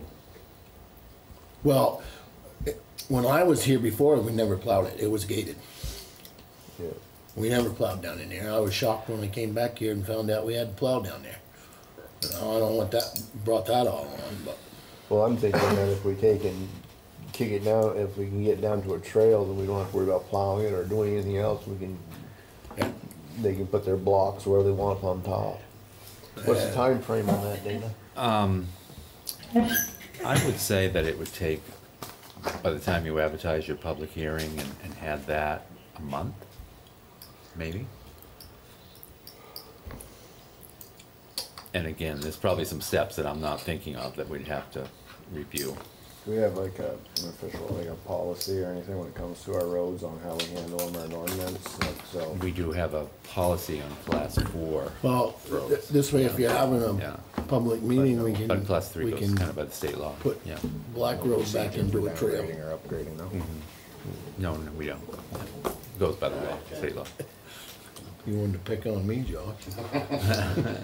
Okay, Um, so, it's, I mean, we, if the we board- had to put a new culvert in down there last year, cause it, uh, the beavers dammed it up and then the dam broke and took Washed the, it out. yeah, and ruined the culvert, so we ended up, had to put a new culvert in, so it's already got a new culvert in down there. There's only one on the whole road, but, I mean, I think it It's would be just- great not to have to maintain that Yeah. road for, that goes nowhere. Yeah. Um, Well, see what it takes to Yeah. do that, Dana, and that'll be another thing for the sixth. Cause every spring, That goes Green all the way through though, that, that road. yes, but, Originally went all the way but through. Morse, where does it come out, in Berrytown? right there at the, where you Bill turn to Wolf go down where Bill Wolf lives. Oh, really? Oh, okay. But, um, Morse has already gated his end of it, so evidently he's done something with Berrytown. Or just gated it. Yeah. Or something, I don't know, Probably no one but they've done a lot of damage down there, a lot of damage. Well- And and a lot of time and money spent for us down there cleaning up all the garbage, because there's nobody around, they just drive down there and throw everything out. So I'll take a look into that, Dana. and we'll I will, Do that yeah. on the sixth. And I'll have answer for you by then. Um, the other thing I got was, I got a phone call from a guy in Berrytown. Eric is his first name. I can't remember what his last name was.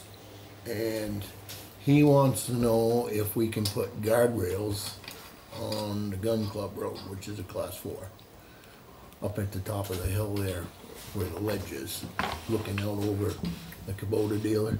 And you come down the hill, you got that sharp corner Yeah. before you pitch down. I, I don't believe they can put guardrails in there because it's all ledge. They'll never be able to hammer them in. Yep. So they'd all have to be bored, and that's gonna be costly. I suggested to him if you guys go along with it, I already have Jersey, Jersey barriers. Jersey barriers down there that we use to block the road off in the wintertime, Yep. so it can't be used. Um, all we gotta do is Move them up the hill. move them up the hill and put two of them on, we got two of them down there on the bottom. And then we got one at the top, but I don't wanna drag that one down from the top. But we could put two on the corner. I thought there was more than that on the bottom. Oh, there's blocks, there's only two Jersey barriers. Couldn't use the blocks too, or? Well, I don't think you're gonna need to because the two Jersey barriers are gonna, is gonna take care of the corner. So. Makes sense to me. Okay, well, I wanted to get, he called me and wanted to know what I, what I could find out, and I told him I'd talk to you guys tonight, and, and, um, sorry, ladies, I said guys, It's all right. people. And, um, and s- see if it would be okay with you to do Have you this. opened up the gun club No. road yet? Nope, uh, not until Monday. Yeah. And Rowell Hill's not open either. I was in Rowell Hill a week or so ago and it was, the, w- the water was just coming out of the Running. road everywheres and it was muddy. Yeah. So if you open it, they're gonna totally destroy it. Yep. They're only supposed to get graded once a year. So I'd rather hold off until it's dried up some. Hard, yeah. The excavator's over there right now, so I was going to, um, do, do it Monday. Cause when I was in there, the bank slid and plugged up the ditch. So we gotta clean some ditches down through to get the water going to the culverts. And Crosstown Road is back open. And I know you all got an email. And Oh, I got, I got some nasty phone calls from the same person. There's no way it was ready to be open before anyway. No, I, I mean, we changed the culvert over there by Gary Richardson's yesterday and it, it took us all day because the ditch filled up with water and then the, the culvert kept trying to float on us when we were compacting it. So, I mean, it's, it's, it's still a lot of water in the ground. Yeah. I mean, it's open and I don't know how long it's gonna hold up right there on that stretch below Gary's. And the thing I don't understand is, is the culvert that was in there was wicked deep. And I think the reason for it is, is that we've had to put so much gravel over the years that we've built it up so. And there was no clay, it was all gravel. So I don't know why it does that. I mean, Well- it, the humps were five and six feet high. Well, a lot of water in there to freeze, lift it. It was hard It was, it was bad right there by Gary Richardson's. And then, and I sent them over Monday and was gonna see if we could open it Monday and Timmy was, they were hauling gravel over to him to cover up the stone that we had to put in there to get rid of the mud. And he said that the cracks opened up good four inches or better when he drove over it. It just, the road just went like this and opened right up. And You put three thousand cars a day on there. I Yeah. think we opened it today about two thirty, quarter to three, and I think by three thirty, there was a thousand cars already gone over it. Well, the word got out quickly because Well, when I I mean, went to have dinner. Eddie and TJ went over there and took the sign were- down in Riverton, and before they got up to, to where Chris, where Donnie Mercier used to live, they had five cars behind them. Hmm. Just taking the sign down. Yeah. David Volpery said to me, he said, I think they put out a red alert that crosstown roads opened up again. And today was the Everybody corporate sees cut it. in, cut in Montpelier too, so people may have been looking for a cut. Oh, road really? Getting Oh. back from Montpelier, I'm thinking. Hmm. I don't know, but. So, that's, I guess that was it for me. But Thank you, unless Jim. you wanna talk about, remember I asked you before the meeting about, we got some major money to spend on that truck. I'll tell you that right now. The hoist is shot. It's Is that what, is it the hinge or the piston itself? Oh, the itself? piston itself is so pitted. Yeah. It's all, I mean, he puts it down and there's oil everywhere. Could Yeah. someone look at it and give a list of what it would Well, mean? I can, I can look at it, I know what's gonna be make a done. list I and got what a- the cost is? Well, I know what a hoist is, cause we just had to put one in Timmy's Yeah, truck. that's what I'm, I'm just saying. That That's would, it would help thirty-three, me. that's anyway. thirty-three hundred dollars right there. With installation or No. just the piston? No, that's just a piston, five hundred dollars for labor to do it. Yeah. And we're fighting with the guy that was here, Fairfields, right now, because, um, the, the hoist was under warranty and, in Timmy's truck, and we couldn't get it down. Jeff Newton helped me down at the city garage to get the hoist out of the truck. He came over with a backhoe with an extended boom and we got, we got the hoist down on the ground and then Crosstown Towing took it to Morrisville to Fairfields for us, cause they wouldn't come down here. Their, their insurance won't let them work out of the shop. So anyways, they sent it back to Mayot and they tore it all apart. They found a complete shop rag inside of, of the cylinder. So what it did was, is it plugged up everything so that the oil couldn't come, the, went up, but then the oil couldn't come out. So it wouldn't come back down. And they want us to pay for it. And I said, I'm not paying for it. There ain't no way we put a shop rag in there, and that's a brand new hoist. Because we were out here fixing the police department yard, and he put his body up out here and he blew a seal in the first one. So that one was under warranty. They took it back and they put a new one in and never said a bit word. But now they, they claim that we put the rag inside of it. Well, if, if the rag was in there and it had to go into the hydraulic tank, had to go through all the lines, through the pump, filter, the valve. Now, how can it be a solid Right, rag? when it gets there. Yes. So that was and, and miracle. they sent us the bill, and Diane got a, a, a, the bill the other day because I talked to Mike last Wednesday at the truck show, and I told him I said I got a bill, and I said I'm not paying it, and I'm not paying the labor of installing it, because if that's the case, you're going to pay me for having Newton take it out, And he said, no, don't pay it. Well, Diane got a nasty thing in the mail. Um, Monday, Tuesday. We sent They an want their money. appropriate response. Huh? We sent an appropriate response. Mm-hmm. I was gonna say they may And I talked, I talked to Mike about it outdoors tonight here, and I told him that Diane got a thing, he said, don't pay it. Mm-hmm. He said, because either Mayott's gonna eat the cost of it, or Fairfields is going to, because he said there was no way you guys could have done that damage to that hoist. So, but, so I know what a hoist's gonna cost us. I'm kinda surprised that the, of course, it wasn't loaded in the truck, but you almost think it'd be enough oil pressure that'd blow that hose, that, uh, that rag out of there. Is Well, the we hoist unhooked it, we unhooked the hoses to get it out. Yeah. And not a drop of oil came out of those hoses. And the city of Montpelier's got that three thirteen, or, uh, yeah, three nineteen, whatever, cat excavator, that's a big excavator on tires, rubber Yeah. tires. He stood that thing right on its rear wheels, pushing down on it with the bucket, trying to push the cylinder down. Couldn't do it. But They had pictures of it, and that's what it was. Yeah. Okay.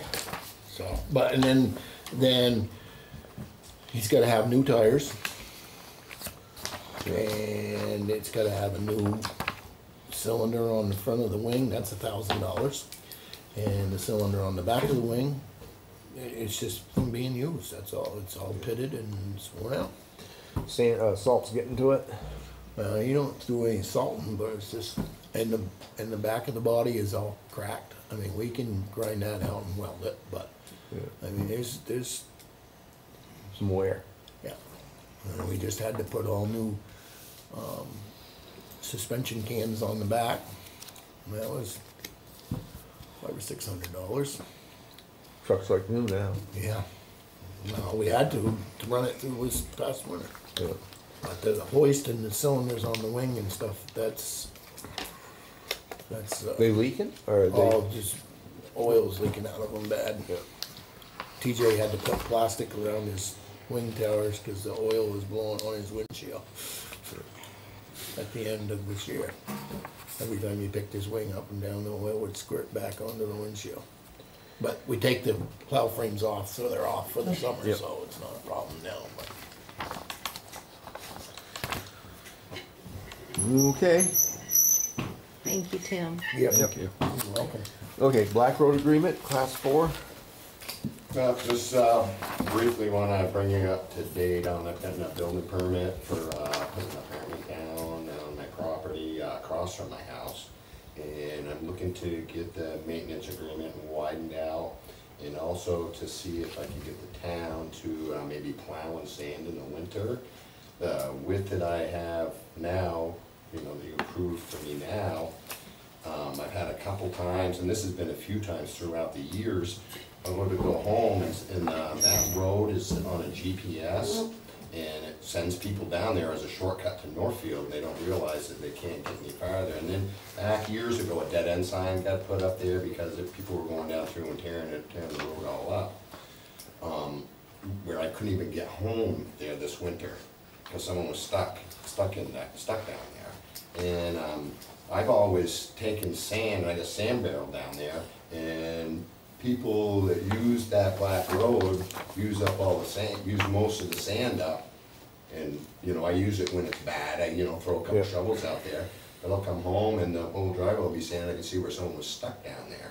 And Like I say, up- you know, it's kind of uh, frustrating when you go to go home and someone's stuck and you gotta pull them out of your driveway, and there's been, uh, there was a one other time this winter when I was o- out of town, and my wife couldn't get down in there, so I'd really like to be able to get that widened, uh, my agreement with you guys widened out a little bit and see if um, I can get the town to sand and plow it.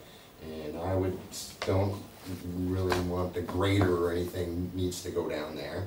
But um, I have like a York rake on my tractor where I've maintained that road for over 20 years.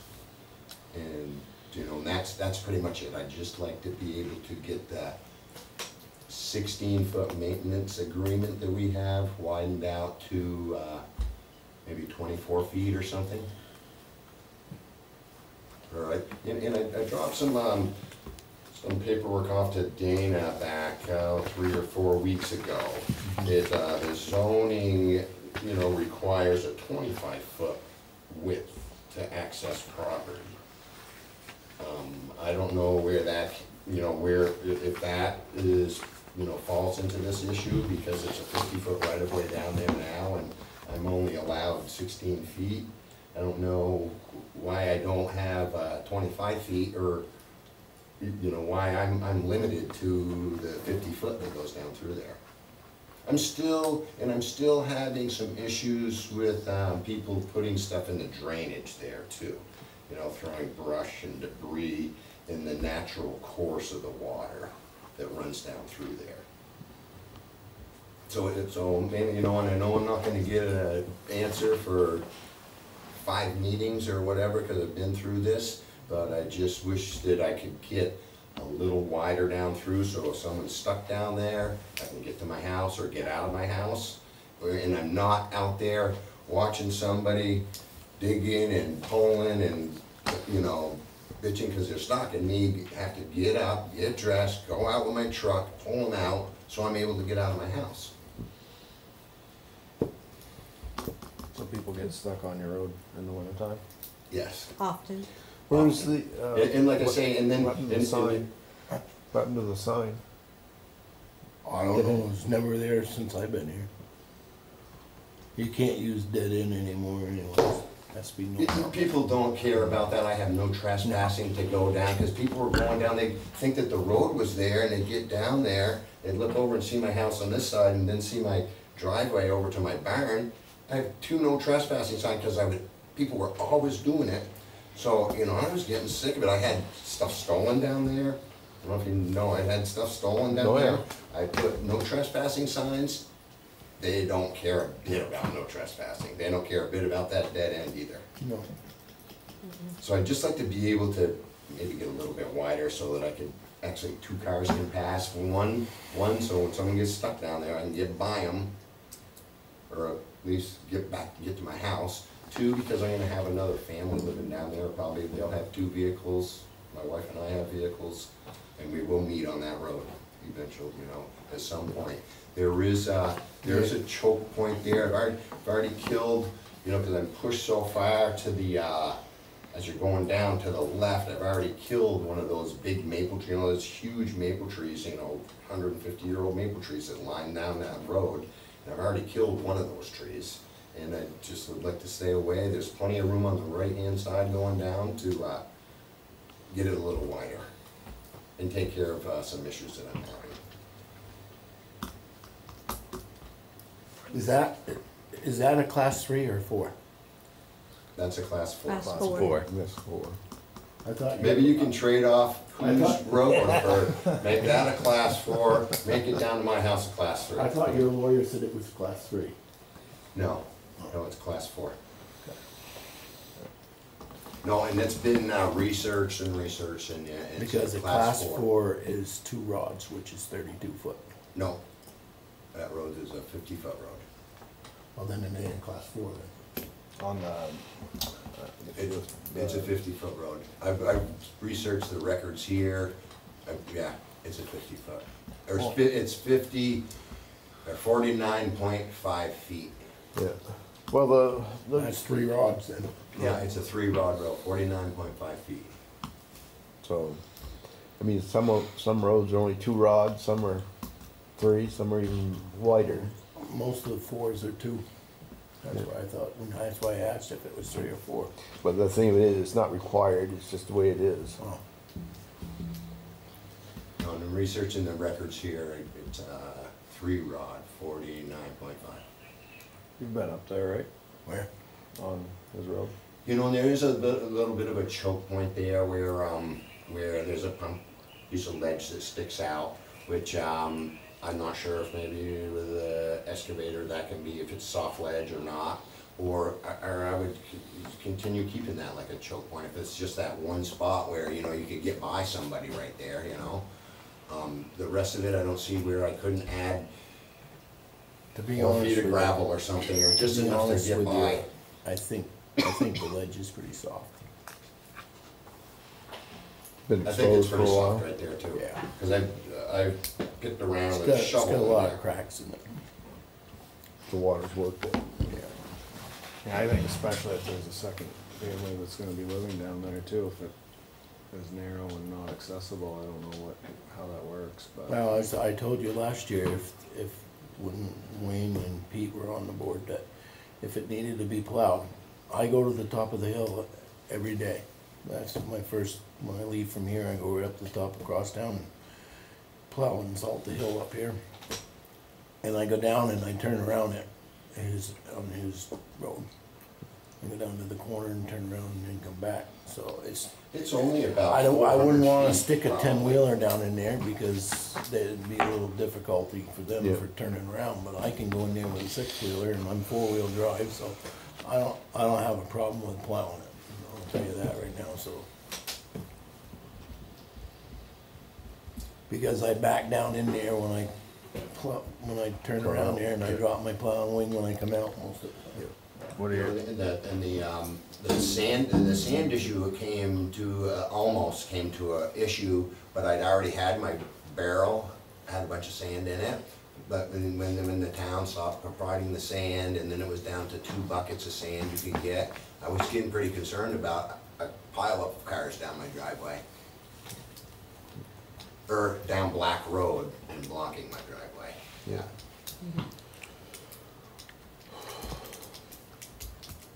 And, you know, and I understand if we gotta come here again and my neighbors have to be here and the whole board has to be here. I, I, you know, I, I've been through this before, having a lot of issues with, with, uh, the access to my property within the last few years, when I've been here for over twenty, lived down there for over twenty years, had no problem until the last few years, and it's, uh, getting very frustrating.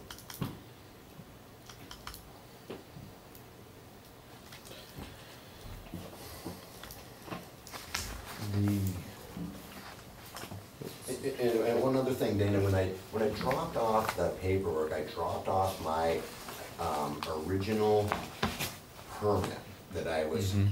given, and then it had the two things on there that it said, uh, uh, um, I can't remember, I don't have the paper in front of me about, um, approved, you know, it was approved and checked if, you know, they checked off, went through Article ten and Article eleven. Right. Did you see what that was all about? I think you- I didn't know if you were gonna research that Um, and see what that was about. what it is, Josh, I mean, they, the zoning board does not have authority over roads.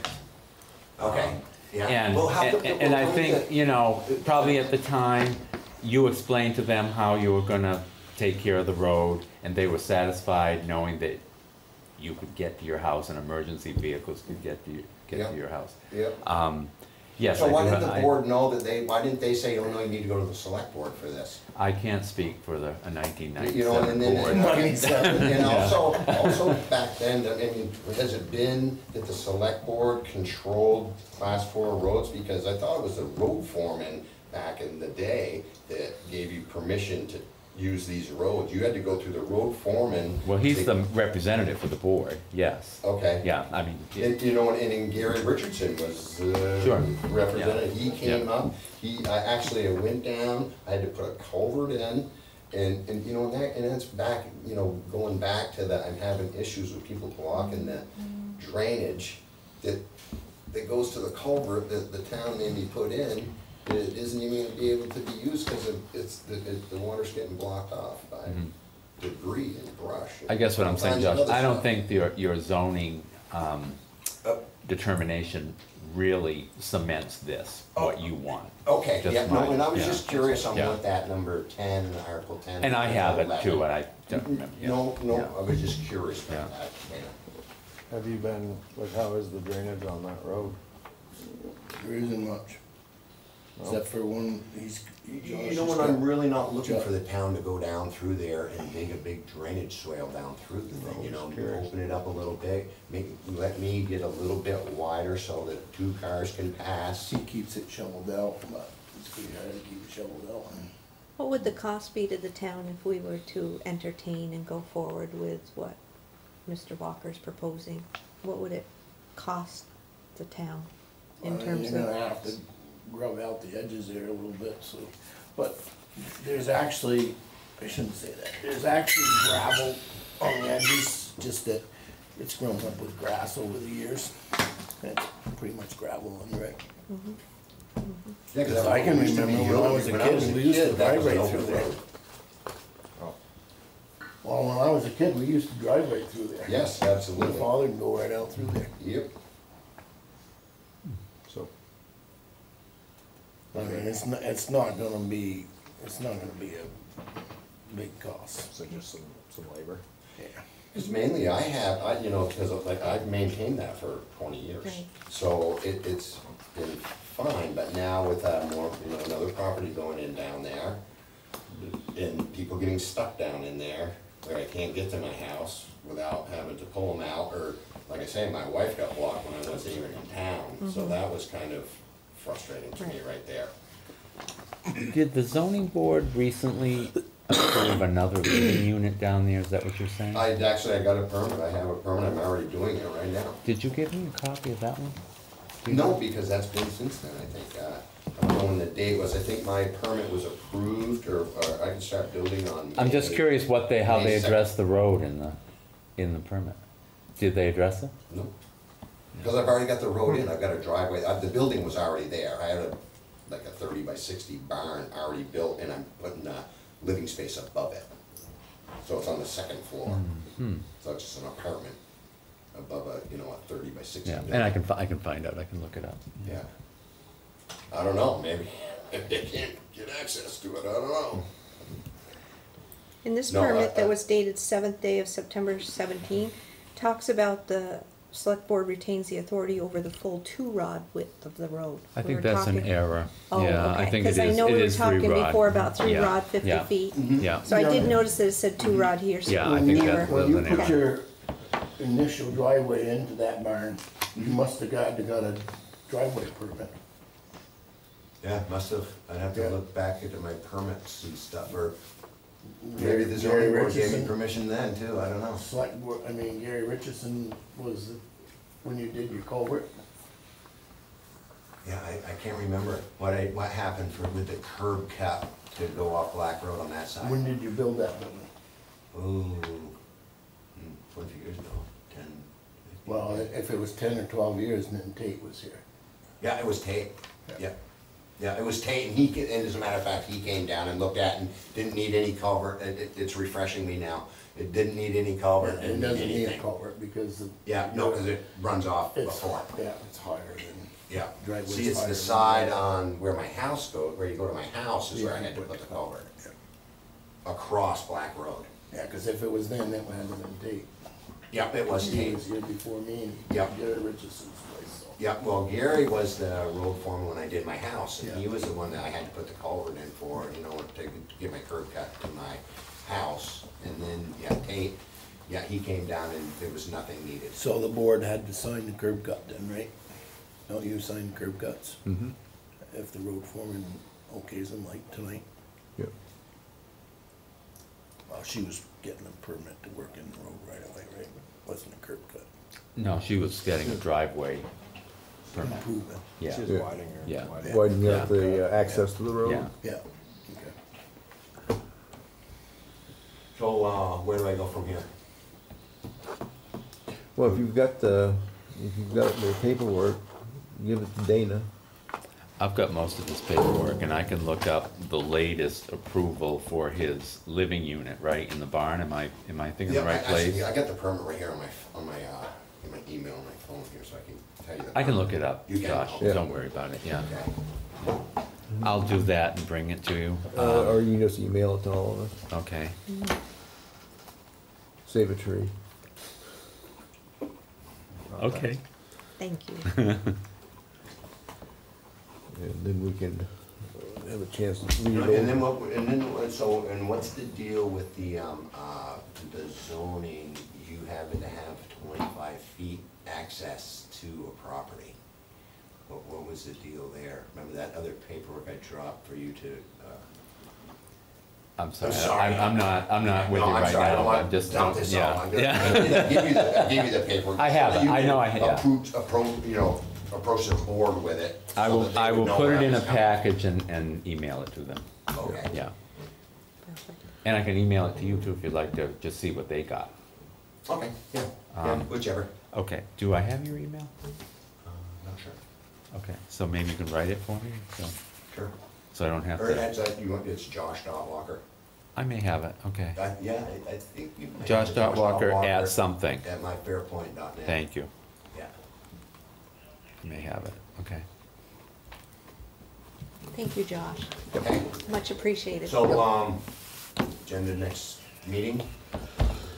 You getting full yet? What's that? The agenda. Um, it's gonna be full, but if you, I can put it on. Okay. Yeah. Great. Yeah, thank you. Perfect. for your Have a time. good night. You too. Good night. Okay. Hazard mitigation project, Dana? Um, we discussed that a little bit at your last meeting about the survey that is going to be going out to the community. And I've been asked if we could, the board would do a motion. Uh, the town of Berlin is updating its hazard mitigation plan and community input is an important part of the planning process. A short survey is available at the town office and the residents and business owners in town are invited to complete and submit back to the town by August first, 2019. And that's at the suggestion of our consultant, Paul Luciano. So So, oh, ec- all Do I right, hear a second? Second it. Any please. further, any further, any further discussion? Hearing none, those in favor? Aye. Motion carries. It's one of my housekeeping issues. Um, Miss okay, approval of select board's minutes for five, two, and five, eight of twenty nineteen. Um, I don't think you can do the second. Um, because number? you're, you're short, yeah. So the first one, I'll bring back to you at the next time. the first one we can. Well, the second, your, uh, Angelina wasn't Oh, the here. second. Oh, that's right. And, here, I uh, don't believe. Justin wasn't here. Yeah. And Jeremy was here, but he's not here. Yes. Well, he wasn't here, but he was on the phone. And for Wednesday, May eighth, I make a motion, we accept the minutes of Wednesday, May eighth, two thousand nineteen. Second that motion.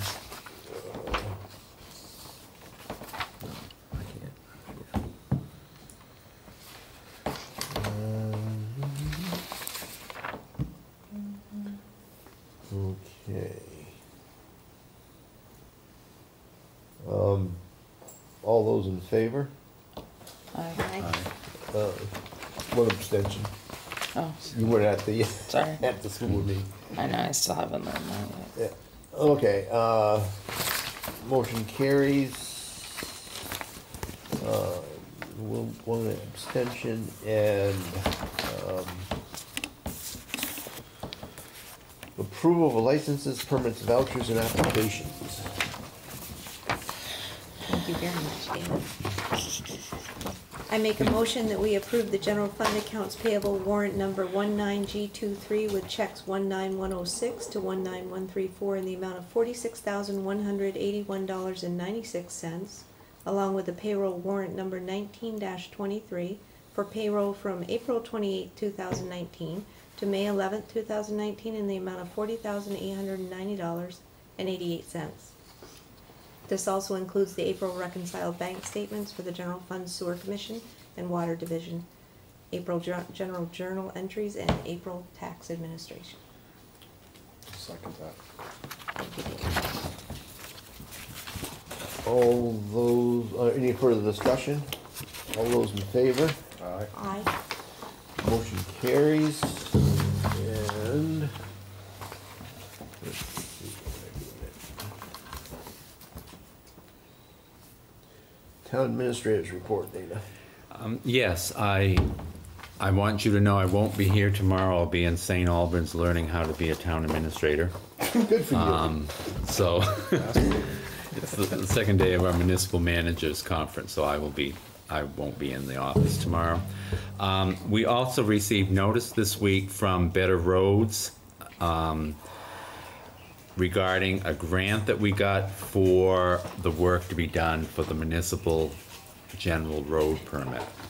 Road general permit, I guess it, it is, uh, for the hydrologically connected sections or segments, segments, I'm gonna look, get it all together.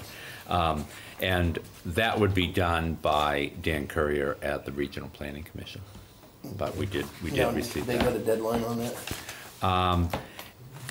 We have to begin work as soon as possible. He's got, he did call me today and say he's got the wrong date on here, but it's July one, two thousand nineteen. And it That's has the to be wrong date? completed, yeah, cause he put eighteen in here. Um, and it has to be completed by the end of December, Of nineteen? no, twenty. So, Oh, so we, we're fine. Because last year when he went around with us, he said it had to be done by June this year. Well, that's not what this letter says. Yeah, okay. But, and- but I will check I with mean, him. we've got a lot of it. a You've done a lot I've done a and- lot already. And he's but- done the preliminary with us. Mhm. Um, so that was, that was a good, um, um, bit of news. Um, back to the town center designation.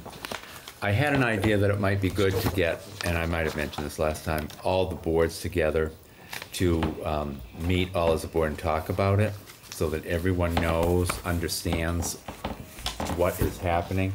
And I'd like to do that in June, and I thought I might ask for it on a Wednesday night, maybe at the Grange, something like that, if that sounds like something you'd be amenable to. Sure. Um, it would also be nice while everyone's there to, I've thought for some time it would be very helpful for committees to hear from the league regarding how meetings are noticed and minutes are kept, et cetera, et cetera. We, with the right to know law, we're supposed to be doing all that All the record committees are. keeping and, and the committees, you know, they're volunteers and sometimes it doesn't happen quite the way it's supposed to. And I'm not criticizing any, I'm just, um, I also have, um, two copies of the, the league's news, if anyone would like to read that. I don't know if you get that by email from the league or, would love one. or anything like that. Um, Would it be appropriate at that meeting for the, any of these developers to be there No, for okay, the thank you. town centerpiece, just to kind of see, I think that, um, sure. like Heidenberg You know, or- um, I was going to invite Heidenberg, Street. you know, um, obviously they're a big partner with the town center. Um, and that's all I have, Brad. Okay, any executive session? Yes, please. Under personnel. Okay, um, let's see here. Thank you. Thank you.